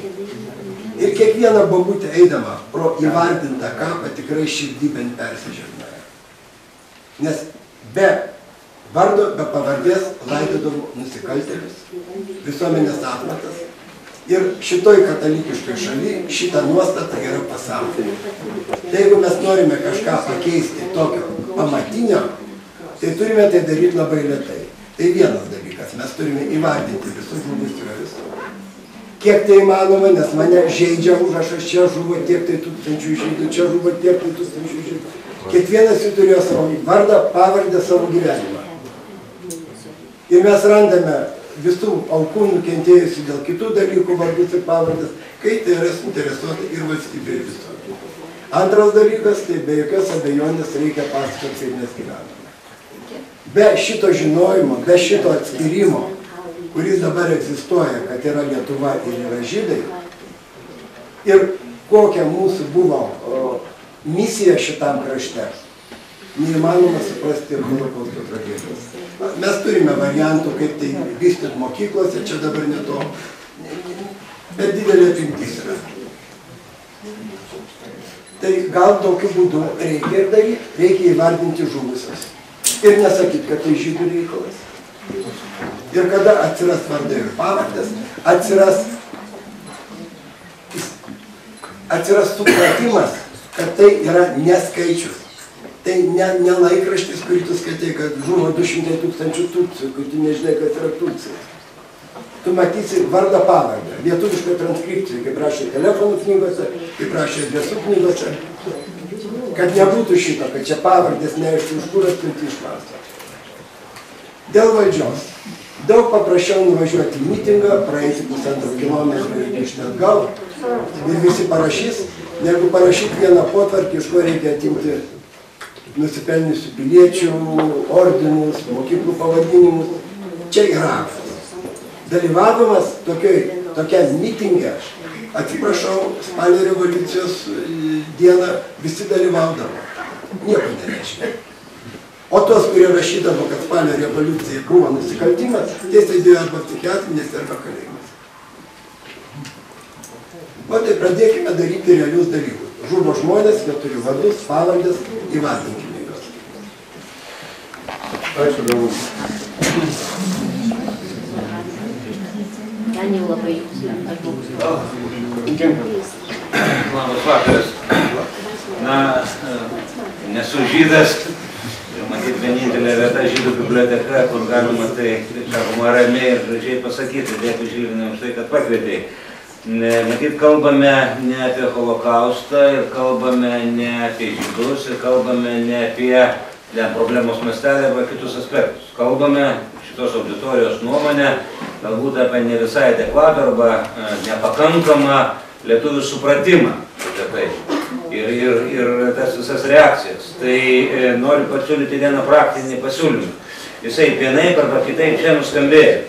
Kadaise, tai buvo ir pakankamai trumpam, tik porai metų esu nustojęs rūkyti, nors neskaičiau knygos, kaip mm, mesti rūkyti. Bet varčiau ją ilgai ir galvojau, kas joje gali būti parašyta, ko nežinau, kad nu, tokį pasirinkimą padaryčiau.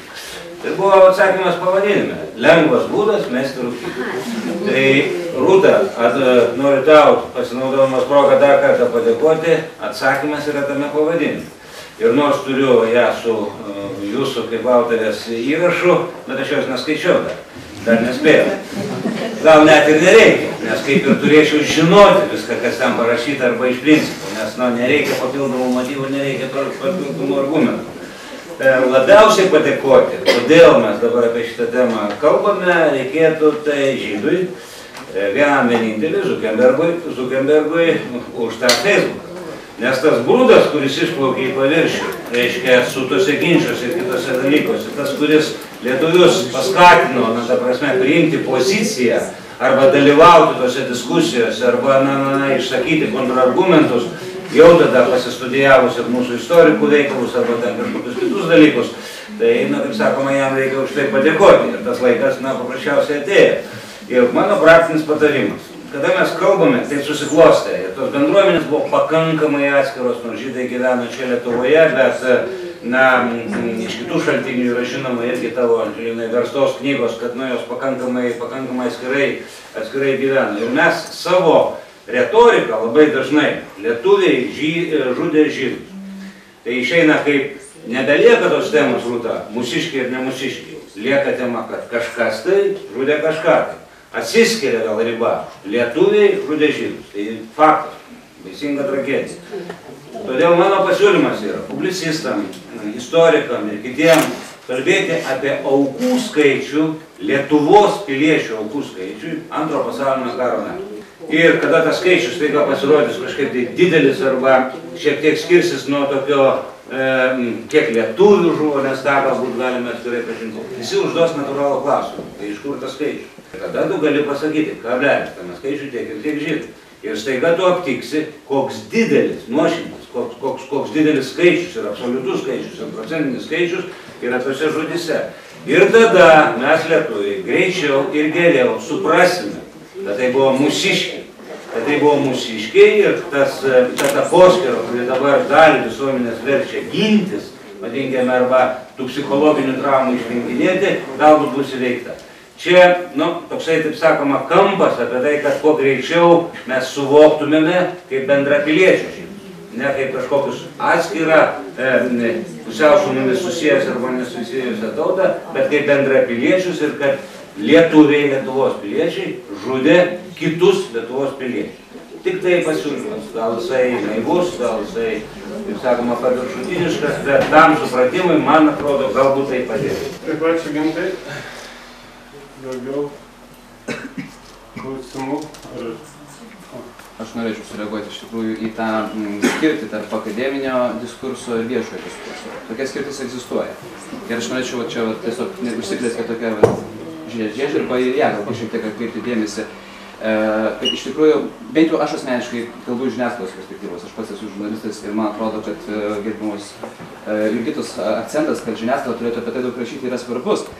Bet e, ne ką mažiau svarbu yra būtent pilietinės visuomenės aktyvumas. E, būtent tokios iniciatyvos, kurios pasirodė pastaraisiais metais ir lėmė, kad žiniasklaida šitą informaciją atsirado. Ir jinai atsirado pasklido labai plačių mastų. Tai pilietinės visuomenės aktyvumas veikia ne tik elektoratų nuotaikas, bet ir žiniasklaidos ir žurnalistų akiratį patenka. Būtent dėl didesnės įtakos. E, ir skirties dėl akademinio viešo diskurso. Jeigu istorikas sako, kad jisai paruošė visuomenę šitos informacijos, šitą, šitam virsmui, kuris dabar vyksta, mano supratimu jisai klysta. Nes jeigu, uh, argumentas būtų toksai, nes jeigu iš tikrųjų uh, būtų paruošimas visuomenės, uh, gerbiamas Rūdos Vanagaitės knyga nebūtų susilaukusi tokios reakcijos, tokio masto reakcijos, kokia buvo susilaukta. Reikia turėti mintie, kad istorikai dažnu atveju uh, rašydami knygas dirba būtent akademinėme diskurse ir jie ruošia ne viešąjį diskursą, ne visuomenę dažnu atveju, o būtent mokslo pasaulio, Lietuvos istorikų e, e, diskurso ir konteksto, kuriame jie gali priimti vienas problemas ar, ar jas nepriimti. Ir e, istorikams galbūt reikėtų bandyti rašyti galbūt kitokiu stiliumi. Net jeigu tas stilius yra prieinamas, visko negalima nurašyti vien tik tais pilietiniam apatiškumui, įsilavinimo stokai, ar sakyti, kad žmogus štai kažko skaito ar neskaito. Iš tikrųjų, e, plačiai visuomenė reikia daryti įtaką visai kitokiais būdais. Ir tai yra tiesiog komunikacinės dalykai, niuansai. Ar galiu pakoreguoti, kad yra visiškai skirtingi rašymo. Tai yra iš tikrųjų visiškai skirtingi rašymo žanrai. Mes iš kai kada iš tikrųjų dirbam savo viduje, ar ne? Tai yra kaip kuomet bandom išsigryninti tam tikras tiesas. Yra mokslo populiarinimo žanras, ką mes irgi išnaudojame, mes tikrai rašom e, ir jūs tikrai spausdinate ir, ir, ir mano tekstus, ir mano kolegų tekstus. Tiesiog noriu pasigirti ir net pabandyti, uh, patikrinti iš tikrųjų, kiek iš jūsų, tarkim, išbandė uh, papildytos realybės programėlę Discover 360. Kiek iš jūsų esate išbandę šiuo metu veikiančią visiškai pilnai mieste, bent keliuose, penkiuose Lietuvos miestuose, matot tris rankas. Ne? Reklama buvo didžiulė. A, tai yra mokslo populiarinimo projektas, papildyta realybė, leidžiantis a, edukaciniais tikslais ir vaikams ir kam tik tai norit.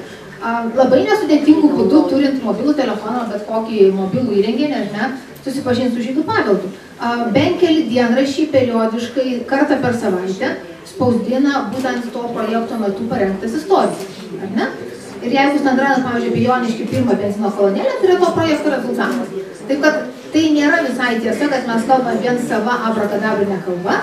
Ir mes tikrai darom viešus projektus, bet tie projektai yra skirti visuomenė. Ne, mes jų patys nedeklaruojam iš akademinių, dėl to aš, kadangi dalyvauju ir absoliučiai akademiniai pusėje ir uh, dirbu ties mokslo populiarinimo, iš tikrųjų leidžiu savo sakyti, kad buvo padaryti didžiuliai žingsniai kurie turėjo padaryti tą karostumą. Aš vėlgi nenoriu kalbėti apie dirbos paruošimą, nes mes tikrai nei arėm, nei akėjom, nei specialiai tą dirbą ruošėm. Mes, vėlgi čia yra problema, kad Lietuva neturi vizijos. Kaip mes turim formuoti savo istorinę atmintį ir kokią mes ją įsivaizduojam po penkių metų, po dešimt metų, tol kol mes nesusitarsim, nieko iš tų vietų nebus, kaip mes iš tikrųjų turim pakankamai pavienės iniciatyvas ir tų iniciatyvų yra, kaip kad mokslininkai na, moka dirbti ir tą ir tą, nors tas populiarinimas nei mūsų balų akademinių dirba, nei, nei, nei kažkaip yra vertinamas tose vietose, kur mes iš tikrųjų veikia. Mes turim dar čia vieną labai rimtą mokslininką, Arūną Būgnų. E, Aš labai norėčiau jį šitą vietą e, paklausti, ką jis galvoja apie, apie savo rimtų tyrimų populiarinimą ir kokią formą tai galėtų būti vykdoma. Nu, aš gal labas vakaras visiems. Aš šiaip tai norėčiau pastabą dėl panios Vanagaitės pasakymo apie, apie reiškia, e, Sakovičiaus dienoraštį. Jūs minėjot, kad, reiškia, prašė leidimo centro, kad, e, kad šitą leistų jums pasinaudoti ir jums nedavė. Bet kiek aš žinau, buvo šiek tiek kitaip. Reiškia, jūsų atstovas prašė leidimo pasinaudoti Sakovičiaus dienoraščio fragmentais. Ir mūsų leidybos skyrius atsakė, kokiais fragmentais jūs pasika... pasinaudoti. Ir iš jūsų negavo jokio atsakymą. Tuo viskas ir baigėsi. O jūs, o jūs reiškia, toliau, reiškia, visur skelbėt, kad centras uždraudė naudotis ir panašiai. Tai, tai nėra tiesa. Turėtų tai pripažinti. Ne, leidikla tiesiog kreipėsi, leidikla gavo oficialų atsakymą, viskas tas yra taip tiesiog. Tai buvo. Bet jūs šiandien vėl tą patį, tą patį kartojat, vėl jūs tą patį kartojat šiandien. Galima klausimą. Geriau jūs papasakokite apie savo knygą Šiaulių gėtas. Geriau papasakokite. O ką čia pasakot? Nu papasakokit, kaip jūs parašėte, plagiatas, pametėt iš jūsų knygas, rašėt schemas. Aš naudojau. Ir paskui turinį pakeitėt. O tai palaukit, tu jūs Pas jūs, skaitėte tą palaukit, knygą? pas jūs išeina, kad žydai žudo žydus. Šiaulių gėtas. Nu kaip ne?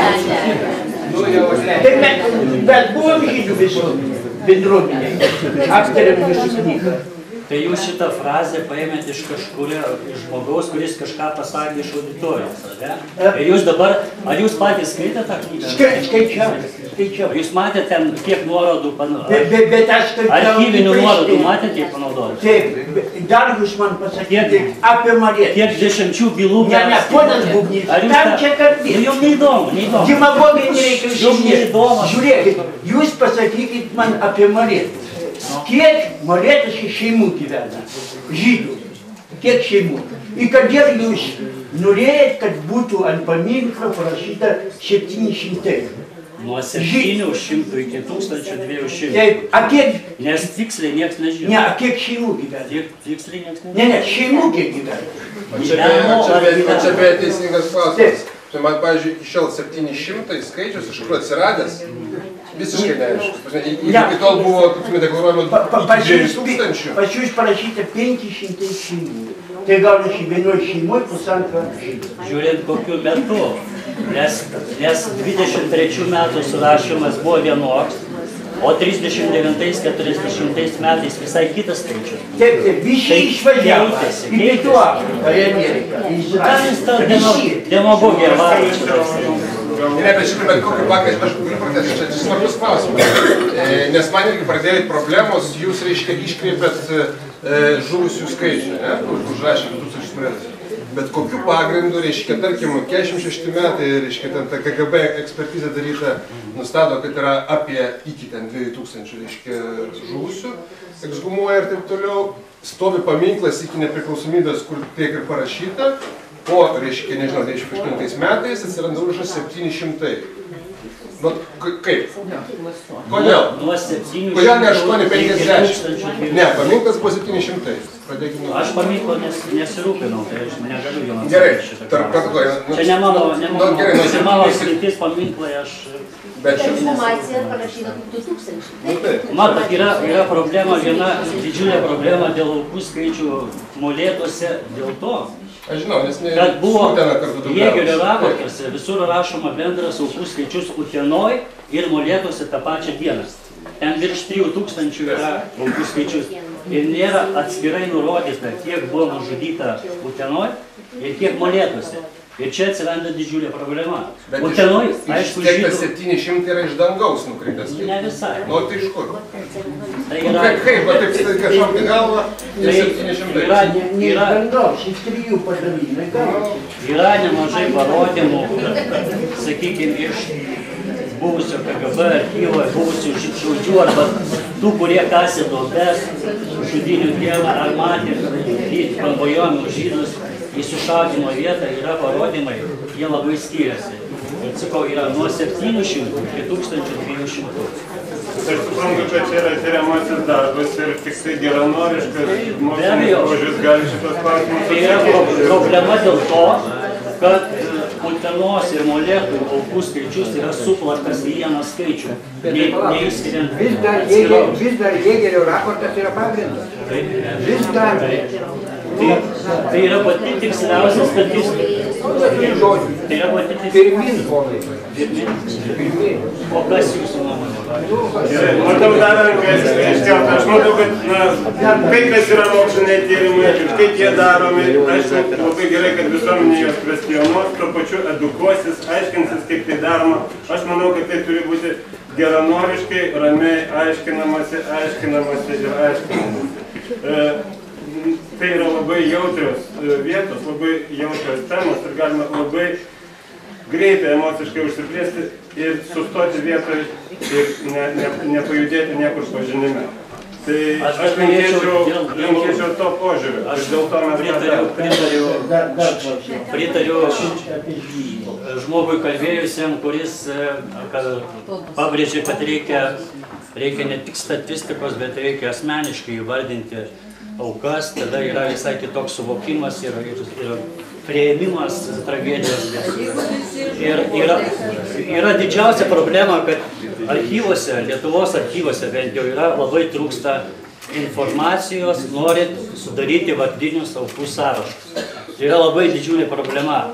Pavyzdžiui, jeigu išliko Šiaulių geto arba Vilniaus geto kalinių sąrašai, jie yra gauna muziejus paskelbti. Bet tai yra tik 42 metų, kai, reiškia, getuose jau gyveno tik tai vienas, vienas penktadalis visų Lietuvos žydų, nes jie buvo nužudyti 41-ais, jau dauguma beveik 80 80 procentų buvo 41-ais. Ir sakykime, tie, kurie buvo nužudyta miestuose, miesteliuose, praktiškai yra labai retai, archyvose galima surasti ne tai, kad ištisinius, bet net dalinius sąrašus. Archyvose jų surasti yra labai sunku, neįmanoma, nes praktiškai nėra tokių sąrašų. Ir yra didžiulė problema sudaryti aukų skaičius, bet nuo 2011 metų Lietuvos vyriausybė įpareigojo Gaono muziejų sudaryti, reiškia, holokausto aukų sąrašus. Ir kiek aš žinau, tas darbas yra intensyviai dirbamas ir galbūt kažkur apie 70, galbūt 80 procentų aukų pavardžių jau yra žinoma. Žodžiu, tas darbas yra dirbamas. Je- Jeigu galima, aš tokį patikinimą, jūs pataisykit mane, jeigu aš klystu. Kiek aš suprantu, kiekvienas namas turėjo namų knygą, kur buvo parašytos šeimų galvos. Ten nerašydavo šeimos sudėtis, ten, bet tokia, šita statistika yra išlikusi.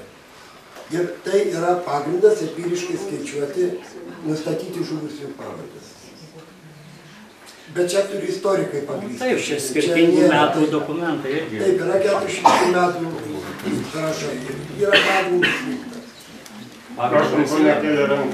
Bet čia ne vieno žmogaus darbas yra. Jūs turbūt puikiai tą suprantate, kad čia ne vieno, ne vieno istoriko gyvenimui ir ne vieno istoriko, reiškia, pajėgumams tokį darbą atlikti. Tai, tai, tai jūs jau 20 metų. Prašau, ponė. Tai dar šimtą metų dirbs. Taip yra. Tie- Man, vienas mokslininkas pasakė, kad jis jau 40 metų tyra holokaustą.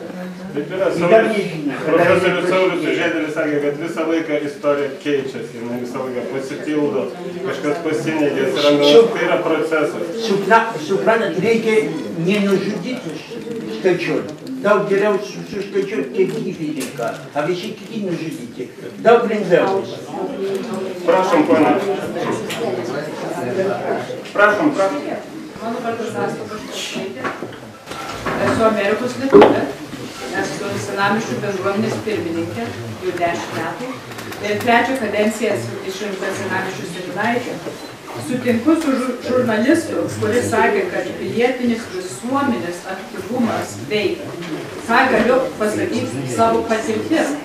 Todėl, kad senamiškių paveldų išsaugojimo, jeigu visuomenė būtų neįsijungus ir mes būtume laukę, kad kažkokie valdininkai Seime kažką būtų padarę, tai būtų tiek senamiestį pristatyta pastatų, kad jūs ne vieną nuomonėlį turėtumėte.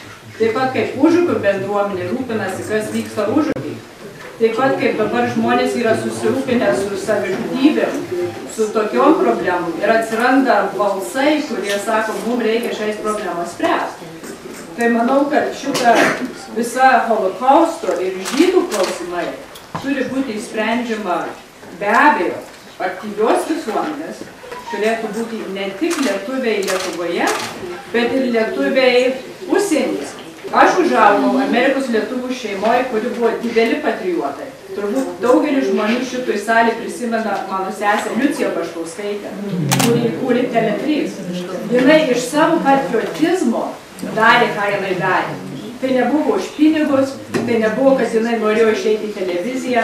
Ja naktį pakėlė iš lovos, sakė, tankai važiuoja Vilniui, mums reikia žmogaus, kuris kalba angliškai, kad žinia pasklistų į pasaulį. Ir jinai susišukavo, užsimetė greit rūbus, net pasų nepasėmė ir bėgo į televiziją. Tai yra patriotizmas. Ir ką aš matau, galiu jums duoti vieną pavyzdį. Senamiestyje, kur yra vokiečių kiemas, tas didysis kiemas, tarp vokiečių gatvės ir kur yra Gono paminklas. Ten stovi stendas. Tame stende yra parodyta apie didžiąją sinagogą. Žinokit, metus laiko aš rašiau laiškus nuo senamiščių bendruomenės į Vilniaus atnaujinimo agentūrą, visur kitur ir sakiau, žinot, plasmasinis dantis, tas rėmas, yra sulūžęs, išlūžęs. Ir truko metus laiko, kol atsirado, kas sutvarkė tą stendą. Kur žydų visuomenė? Kur tie visi žydai, kurie gyvena Lietuvoje, kurie pakelia rankas, kai reikia kažkokio finansavimo, kodėl jie savo stendų nepasirūpino? Šį savaitę turguje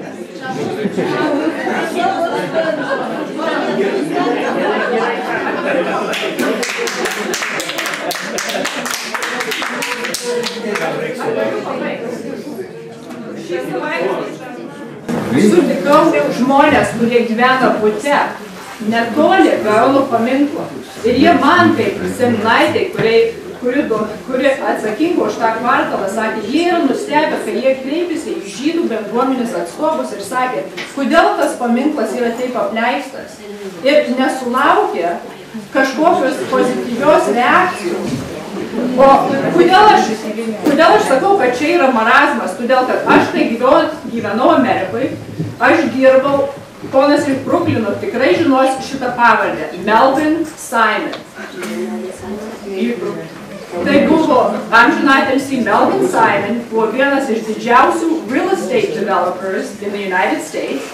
Ir jisai buvo labai didelis, rėmėjas žydų visokių fondų ir aktyvizmo ir taip toliau. Ir aš dirbau to žmogaus vidinį komandą.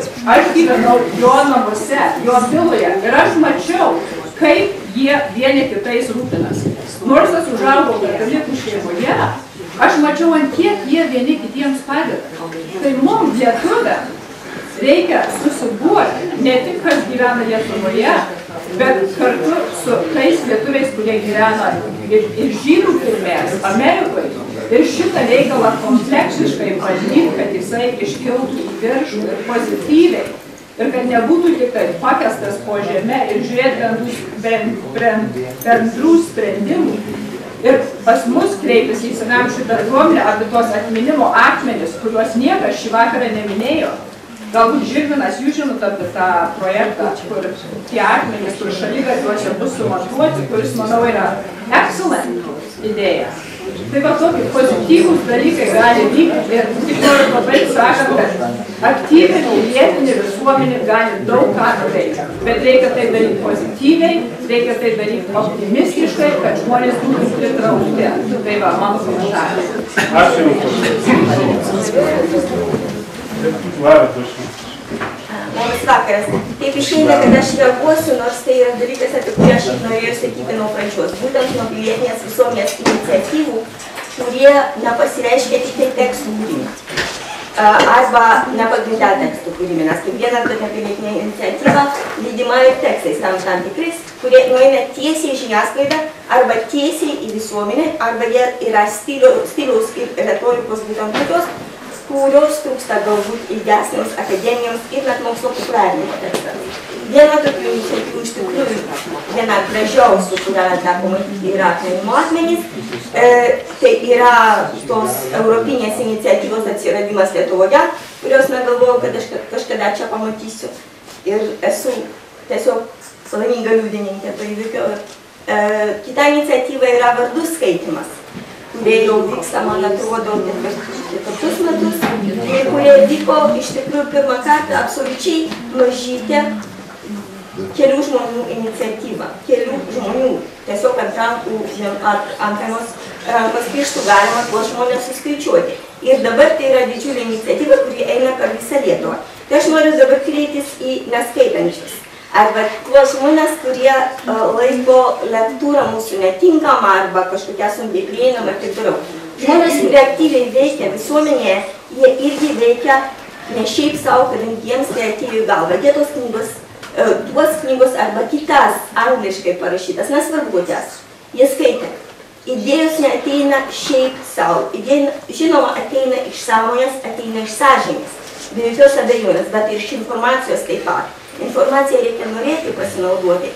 Ir nėra tokios situacijos ir niekada jos nebus.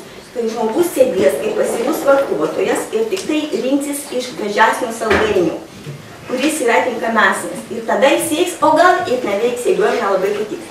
Aš pažįstu tos žmonės, kurie veikia tose iniciatyvose. Aš labai džiaugiuosi ir dėl jūsų iniciatyvos. Ir aš žinau, kad žmonės veikia informuotai.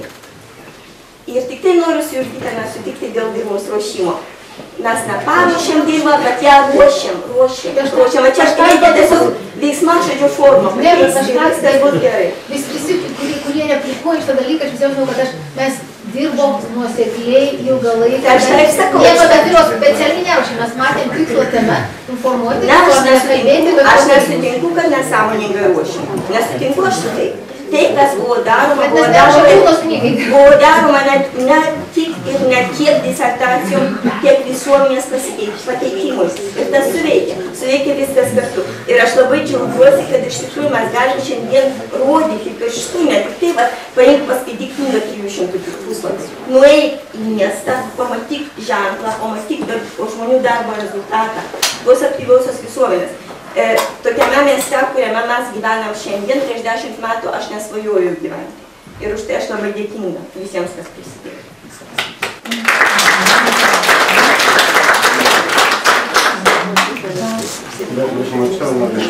Sveikinti galima, ačiū, ačiū labai, tu turi išbėgti ir labai labai malonu.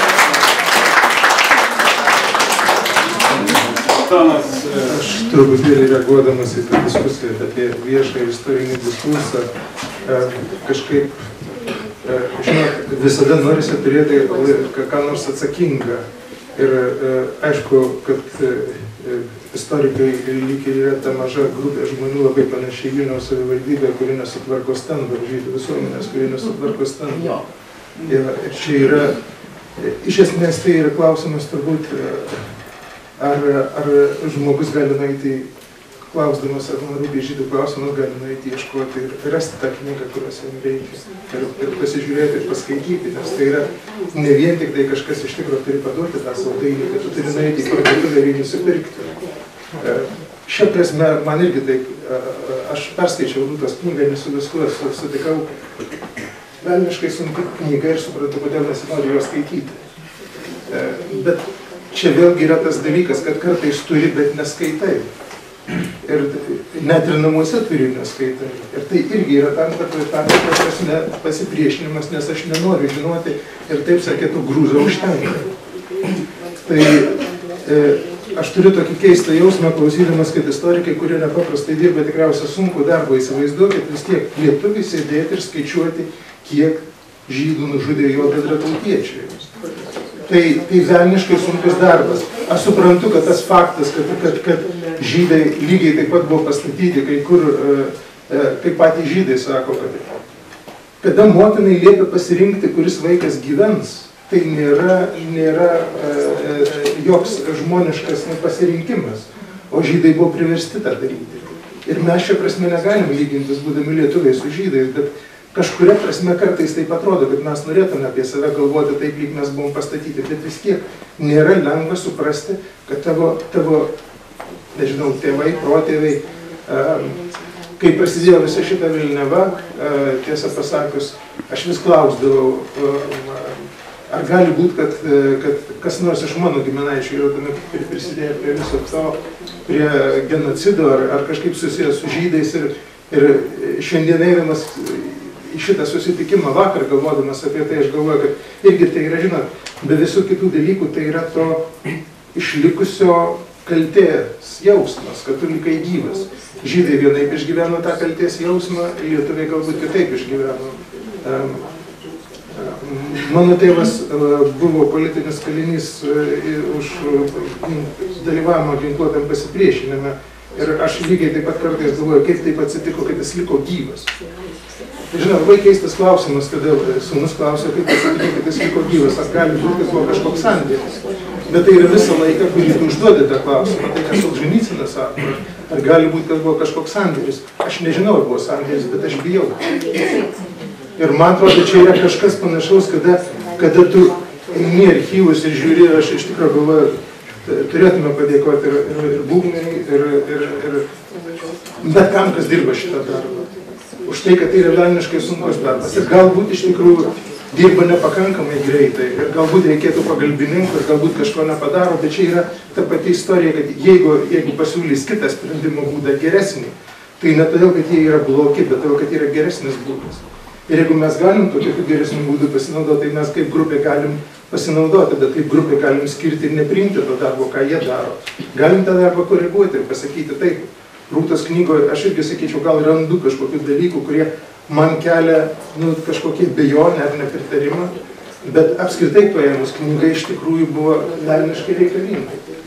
Ir to negali pasakyti. Tai lygiai taip pat gal, gal yra kas nors istorikų darbėta, kas yra ginčytina ir galbūt nuplagijuota, numatyti velniai. To plagijato šiandien pasižiūrėkit visur. Bet, bet yra, tai tą gali nueiti biblioteką, pasiimti lentynų ir tai yra darbas, kuris mums visiems reikalingas. Ir man atrodo, čia yra rizika, kad mes pradėsim kaltinti vienus, vieni kitus, vietoj to, kad bandydami kalbėtis ir ieškoti žesnį, o kaip galim talkinti vieni kitiems.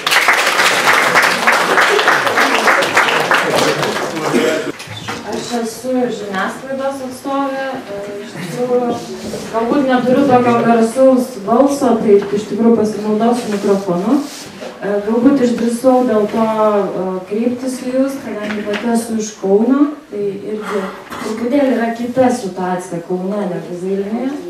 Reiktų, ta prasme, atkreipti dėmesį, kad ir mažesniuose miestuose, miesteliuose, kur buvo labai daug žydų, situacija iš tikrųjų visuomenės yra tikrai, na, neparašta, aš tikrai galiu tą sakyti.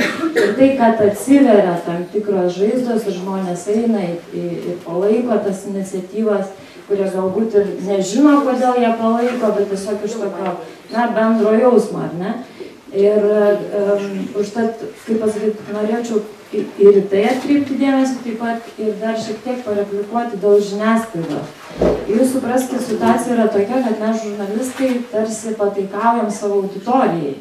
Ir rašyti, kalbėti žydiškomis temomis yra labai sunku. Ne kiekvienas yra toks drasus kaip Rūta. Ir man šiandien irgi reikia daug drąsos prieš šitą auditoriją, tik aš žinau, kad jūs esate draugiška auditorija. Aš tą irgi maždaug taip penki metai pradėjau atrasti šitą temą. Ir aš supratau, kiek daug gyveno Kaune žydų, tai yra daugiau kaip trečdalis gyventojų. Ir aš tada pabandžiau įsivaizduoti savo daugiabučio laiptinę, kaip kas trečio būto gyventojų tiesiog nelieka.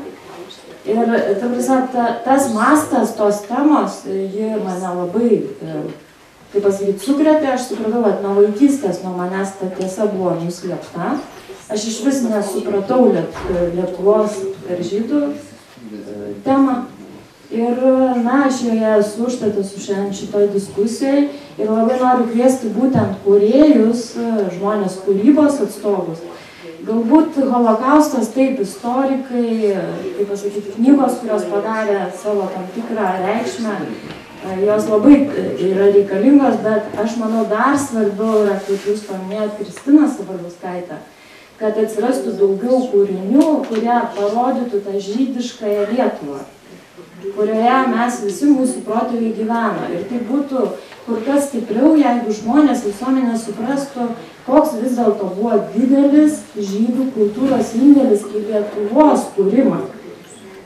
Kiek daug pastatų pastatyta, Kauno senamestis yra pastatytas žydų žmonių. Jie statė tarpukario Kauną, bet dėl ko yra labai svarbu Kaunas, nes tai buvo sostinė. Ir tas holokausto įvykis tai yra dar ir iš sostinės išėjęs, nu, atsakomybė kaip valstybės dar didesnė. Tai bet tokia mano replika. Žurnalės gal interpretacija.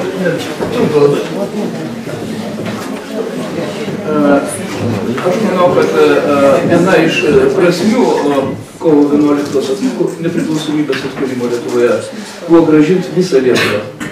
Mes ne tik balsavome už Kudirkos etinę Lietuvą, Lietuvą lietuviams 90 metais, bet mes demokratiniam judėjime, jeigu atsimena sąjūdėje, paskelbėm,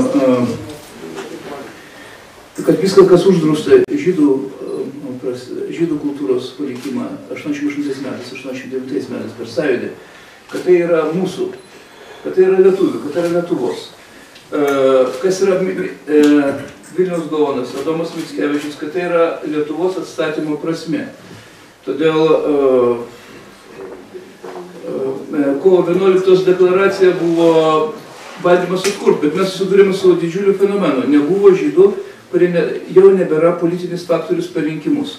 Per rinkimus miesteliuose, kaimuose jų nebėra. Jie nėra kasdien, kaip sakė gerbimo žurnalistė, nėra rinkiminis faktorius, politinė jėga, distriktuose jų nebėra. Todėl padarumo savoka, Lietuvos padarumo savoka susijus su to, kiek Lietuvos politinės partijos e, spręsdamas etinius klausimus ir kitus turi galvoj nesančią, bet buvusią visuomenę kaip, ši, kaip šio laikinės visuomenės dalį.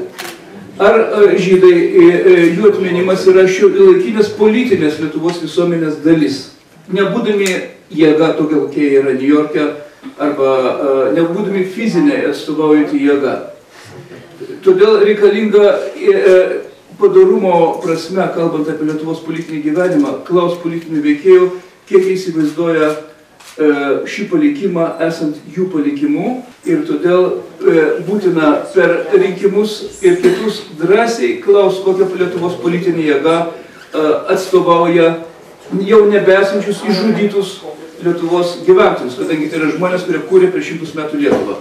Ypatingai yra labai svarbu samonėjimas. Stebėjau labai egzotinį faktą.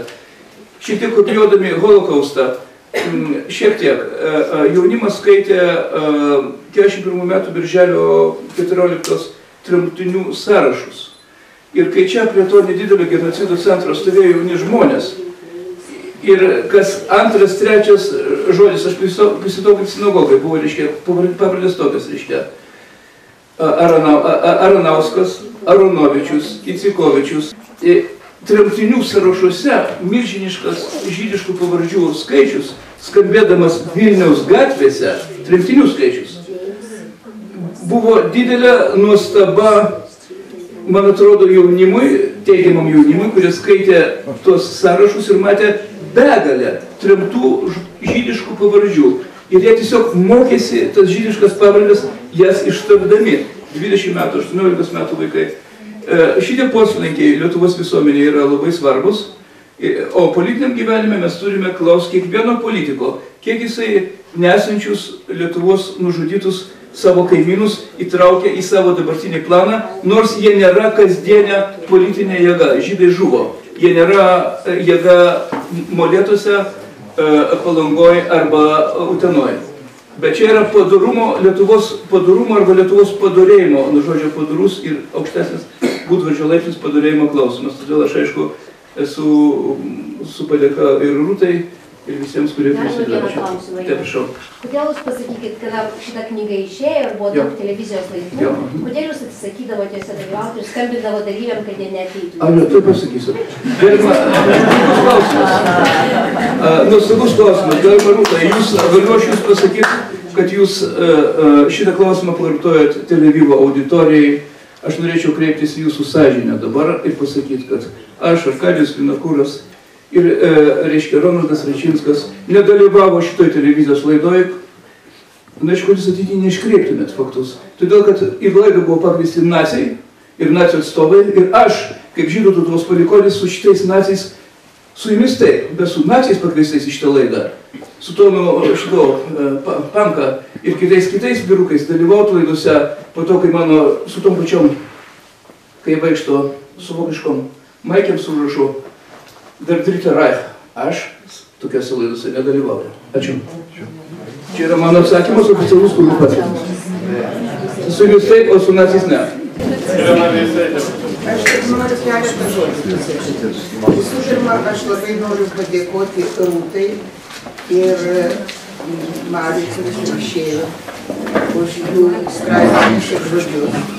Todėl, kad kaip nekeista, aš pati išgyvenusi holokaustą Kaune, e, praradusi faktiškai visą savo šeimą, aš e, dar kartą jį išgyvenau ir kitaip išgyvenau negu anksčiau. Anksčiau tai man buvo svarbiausia, kad žuvo visi mano, drau- mano šeima, mano draugai, man tas žiaurumas buvo baisus. Nu, vienu žodžiu, tai buvo e, siaubinga man. Bet e, kokia tai tragedija, aš iš tiesų supratau rūtą didelę dalim per jūs ir per molėtų įvykius. Ir kai aš supratau, kaip buvo suguldyta visa žydiška Lietuva į duobes. Aš atsimenu, kad buvo atvažiavęs Simonas Markišas, mano, e, mano e, žymus mokslininkas, mano kurso draugas Maskvos universitete. Ir jis manęs paklausė, o kaip tu gali gyventi šitoje kruvinoje žemėje? Tai buvo 15 metų jau po e, karo pabaigos. Ir aš jam atsakiau, tai mano gimtinė, čia mano gyvenimas, čia mano kapai ir aš čia priklausau. Ką aš noriu pasakyti? Aš labai noriu visų paprašyti, kad niekada nevartotumėt tokio dalyko, kaip kaltinti tautą. Lietuviai. Nėra tokios savokos. Suprantat? Jeigu jūs paimsit mano biografiją, taip, tai aš esu žydė, etninė Lietuvos žydė, litvakė, pilna ta žodžio prasme, kad per kartų kartas. Man antrą kartą mane pagimdė ir mane išgelbėjo lietuvių šeima ir ne viena. Tam, kad išgelbėtų vieną žmogų, reikėjo labai didelės drąsos daugeliu žmonių. Ir buvo daug šeimų, kurios prisidėjo prie mano gelbėjimo. Ir jos man yra artimos. e, Ir, ir tai yra irgi mano šeimos. Ir kaip aš galiu pasakyti, kad kam nors, kad lietuviai žudė žydus. Taip, buvo lietuviai, kurie žudė žydus. Bet, e, bet negalima jokių būdų tapatinti tai su tautos savoka. Tai yra, labai, tai yra tiesiog nu, neįmanoma. Aš galiu net vieną prisiminimą pasakyti. Kada m, pradžioj visai mūsų nepriklausomybės aš dalyvavau e, pono Zurofo pasisakymę, e, kuris kaltino baisiausiai Lietuvą, labai kalbėjo galbūt kaip teisininkas, jis buvo teisus, bet kalbėjo labai arogantiškai. Ir aš vos nenorėjau, atsi, aš jau buvau beatsikelianti jį primušti, kiek man tai buvo. Ir, ir tada mane sulaikė Edvard Lukač. Edvard Lukač. E, um, ir, ir pasakė, sėdėk, sėdėk, nuramino, mes po to tapom ir su juo draugais. Bet ką aš noriu pasakyti, man šiandien buvo labai brangu išgirsti pono Zurovo, kad e, jisai vieną dalyką suprato. Jis suprato, kad tai yra lietuvių problema. Kad ne žydai turi kalbėti. Mes gedėsim tiek, kiek gyvensim. Bet e, mes turim, e, ne mes turim spręsti šitą problemą. Ir aš e, labai džiaugiuosi, kad ponas Zurovas tai suprato. E, ir, ir tikiuosi, kad iš tiesų e, dideli žingsniai Lietuvoje, tarp kitko apie žiniasklaidą. Šiandien iš ryto per Lietuvos radiją kalbėjo Anskaitytė, jauna žurnalistė, kuri papasakojo apie kelmės e, žydus. Pradėjo nuo citatos iš mero kūrybos ir e, papasakojo vaikščiodama per visą miestelį, ten ne vieno žydo nėra, e, kalbėjo apie tai, ką jai pasakojo lietuviai. Ir reikia, mes, man, man tiesiog, žinot, buvo keista, kad čia atsirado tas ginčas tarp istorikų, kas prisidėjo, kas. Visi prisidėjo. Ir istorikai prisidėjo, ir, ir, ir čia jau nekalbant apie mūsų šios dienos herojus, ir, ir gelbėtojai prisidėjo, kurie nepripažinti dar Lietuvoje pakankamai. Nėra, kiek meras, kada tai buvo, neatsimenu, jis rašė, prašė, kad būtų pastatytas paminklas, jis kreipėsi į vyriausybę Lietuvos gelbėtojams. Tai yra šventi žmonės, šventi. E, Jie rizikavo savo gyvybę ir savo šeimos gyvybę. Ir kaip mes galim, taip sakant, bet jie nėra įvertinti, pavyzdžiui, taip kaip partizanai. Jie yra, vat, šitą prasme irgi reikia truputėlį pradėti apie tai kalbėti. Ir pagaliau lašas po lašo ir akmenį pratašo. Vokietija, kuri man yra modelis, kaip reikia elgtis su nepaprastai sunkia praeitim, kas šiandien kaltina vokiečius? Niekas. Ir tai praeitis, tai istorija, todėl kad jie iki galo išjautė tą tragediją, kurią jie sukūrė. Ir savo kaltę pripažino, ir jie nesiteisina. Ir nebandom sumažinti skaičius ar padidinti skaičius. Jie yra e, šiandieną iki šioliai aš gaunu iš kiekvieno, kiekvienais metais iš e, vokiečių mokyklų siuntinį naujiems metams e, su, su visokioms, su visokiais kainumynais ten. Ir mokiniai parašo laiškelį gražų. E, ir man net nepatogu jį priimti, man maisto netrūksta. E, bet, bet, e, bet tai gražu, reiškia kažkas su jais dirba. Tai aš noriu pasakyti, kad nesiginčykim, kieno indėlis didesnis. Kodėl mes iš karto visi susipykstam. Visų indėlis yra reikalingas. Ir Amerikos lietuvių indėlis yra labai reikalingas. Tarp kitko turiu pasakyti, aš buvau Amerikoje 68 metais ir lietuvių tarpe tik santariečiai e, daugumoje buvo, e, nu, tokie, nežinau kaip čia pasakyti, ten buvo daug antisemitinių nuotaikų Amerikoje tarp, tarp emigrantų. Tikrai labai daug. Ir aš nežinau, kokia dabar padėtis. Bet, bet tai buvo. Tai vad, nesiginčykim, būkim kartu, dirbkim. Ir, ir man atrodo, nu, O dieve, nenori Zurovą. Kaip? Nenori mušti, ar mušti? Sumušti Zurovą jau nebenorite. Zurovų, ne, Zurovas tegu gyvena į savo atliko.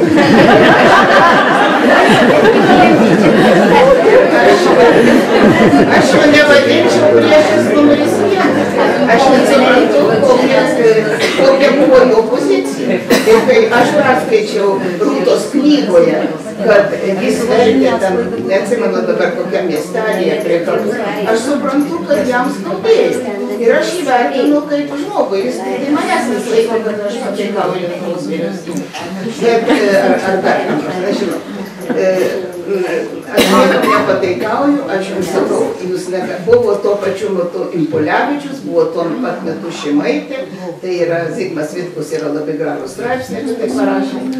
Ir e, dirbkim visi kartu, ne, nesiginčykim. Ir mano gilių įsitikinimų, tik per e, meilę, tik per supratimą mes pasieksime tikrai gerų rezultatų, o ne per pyktį ir neapykantą.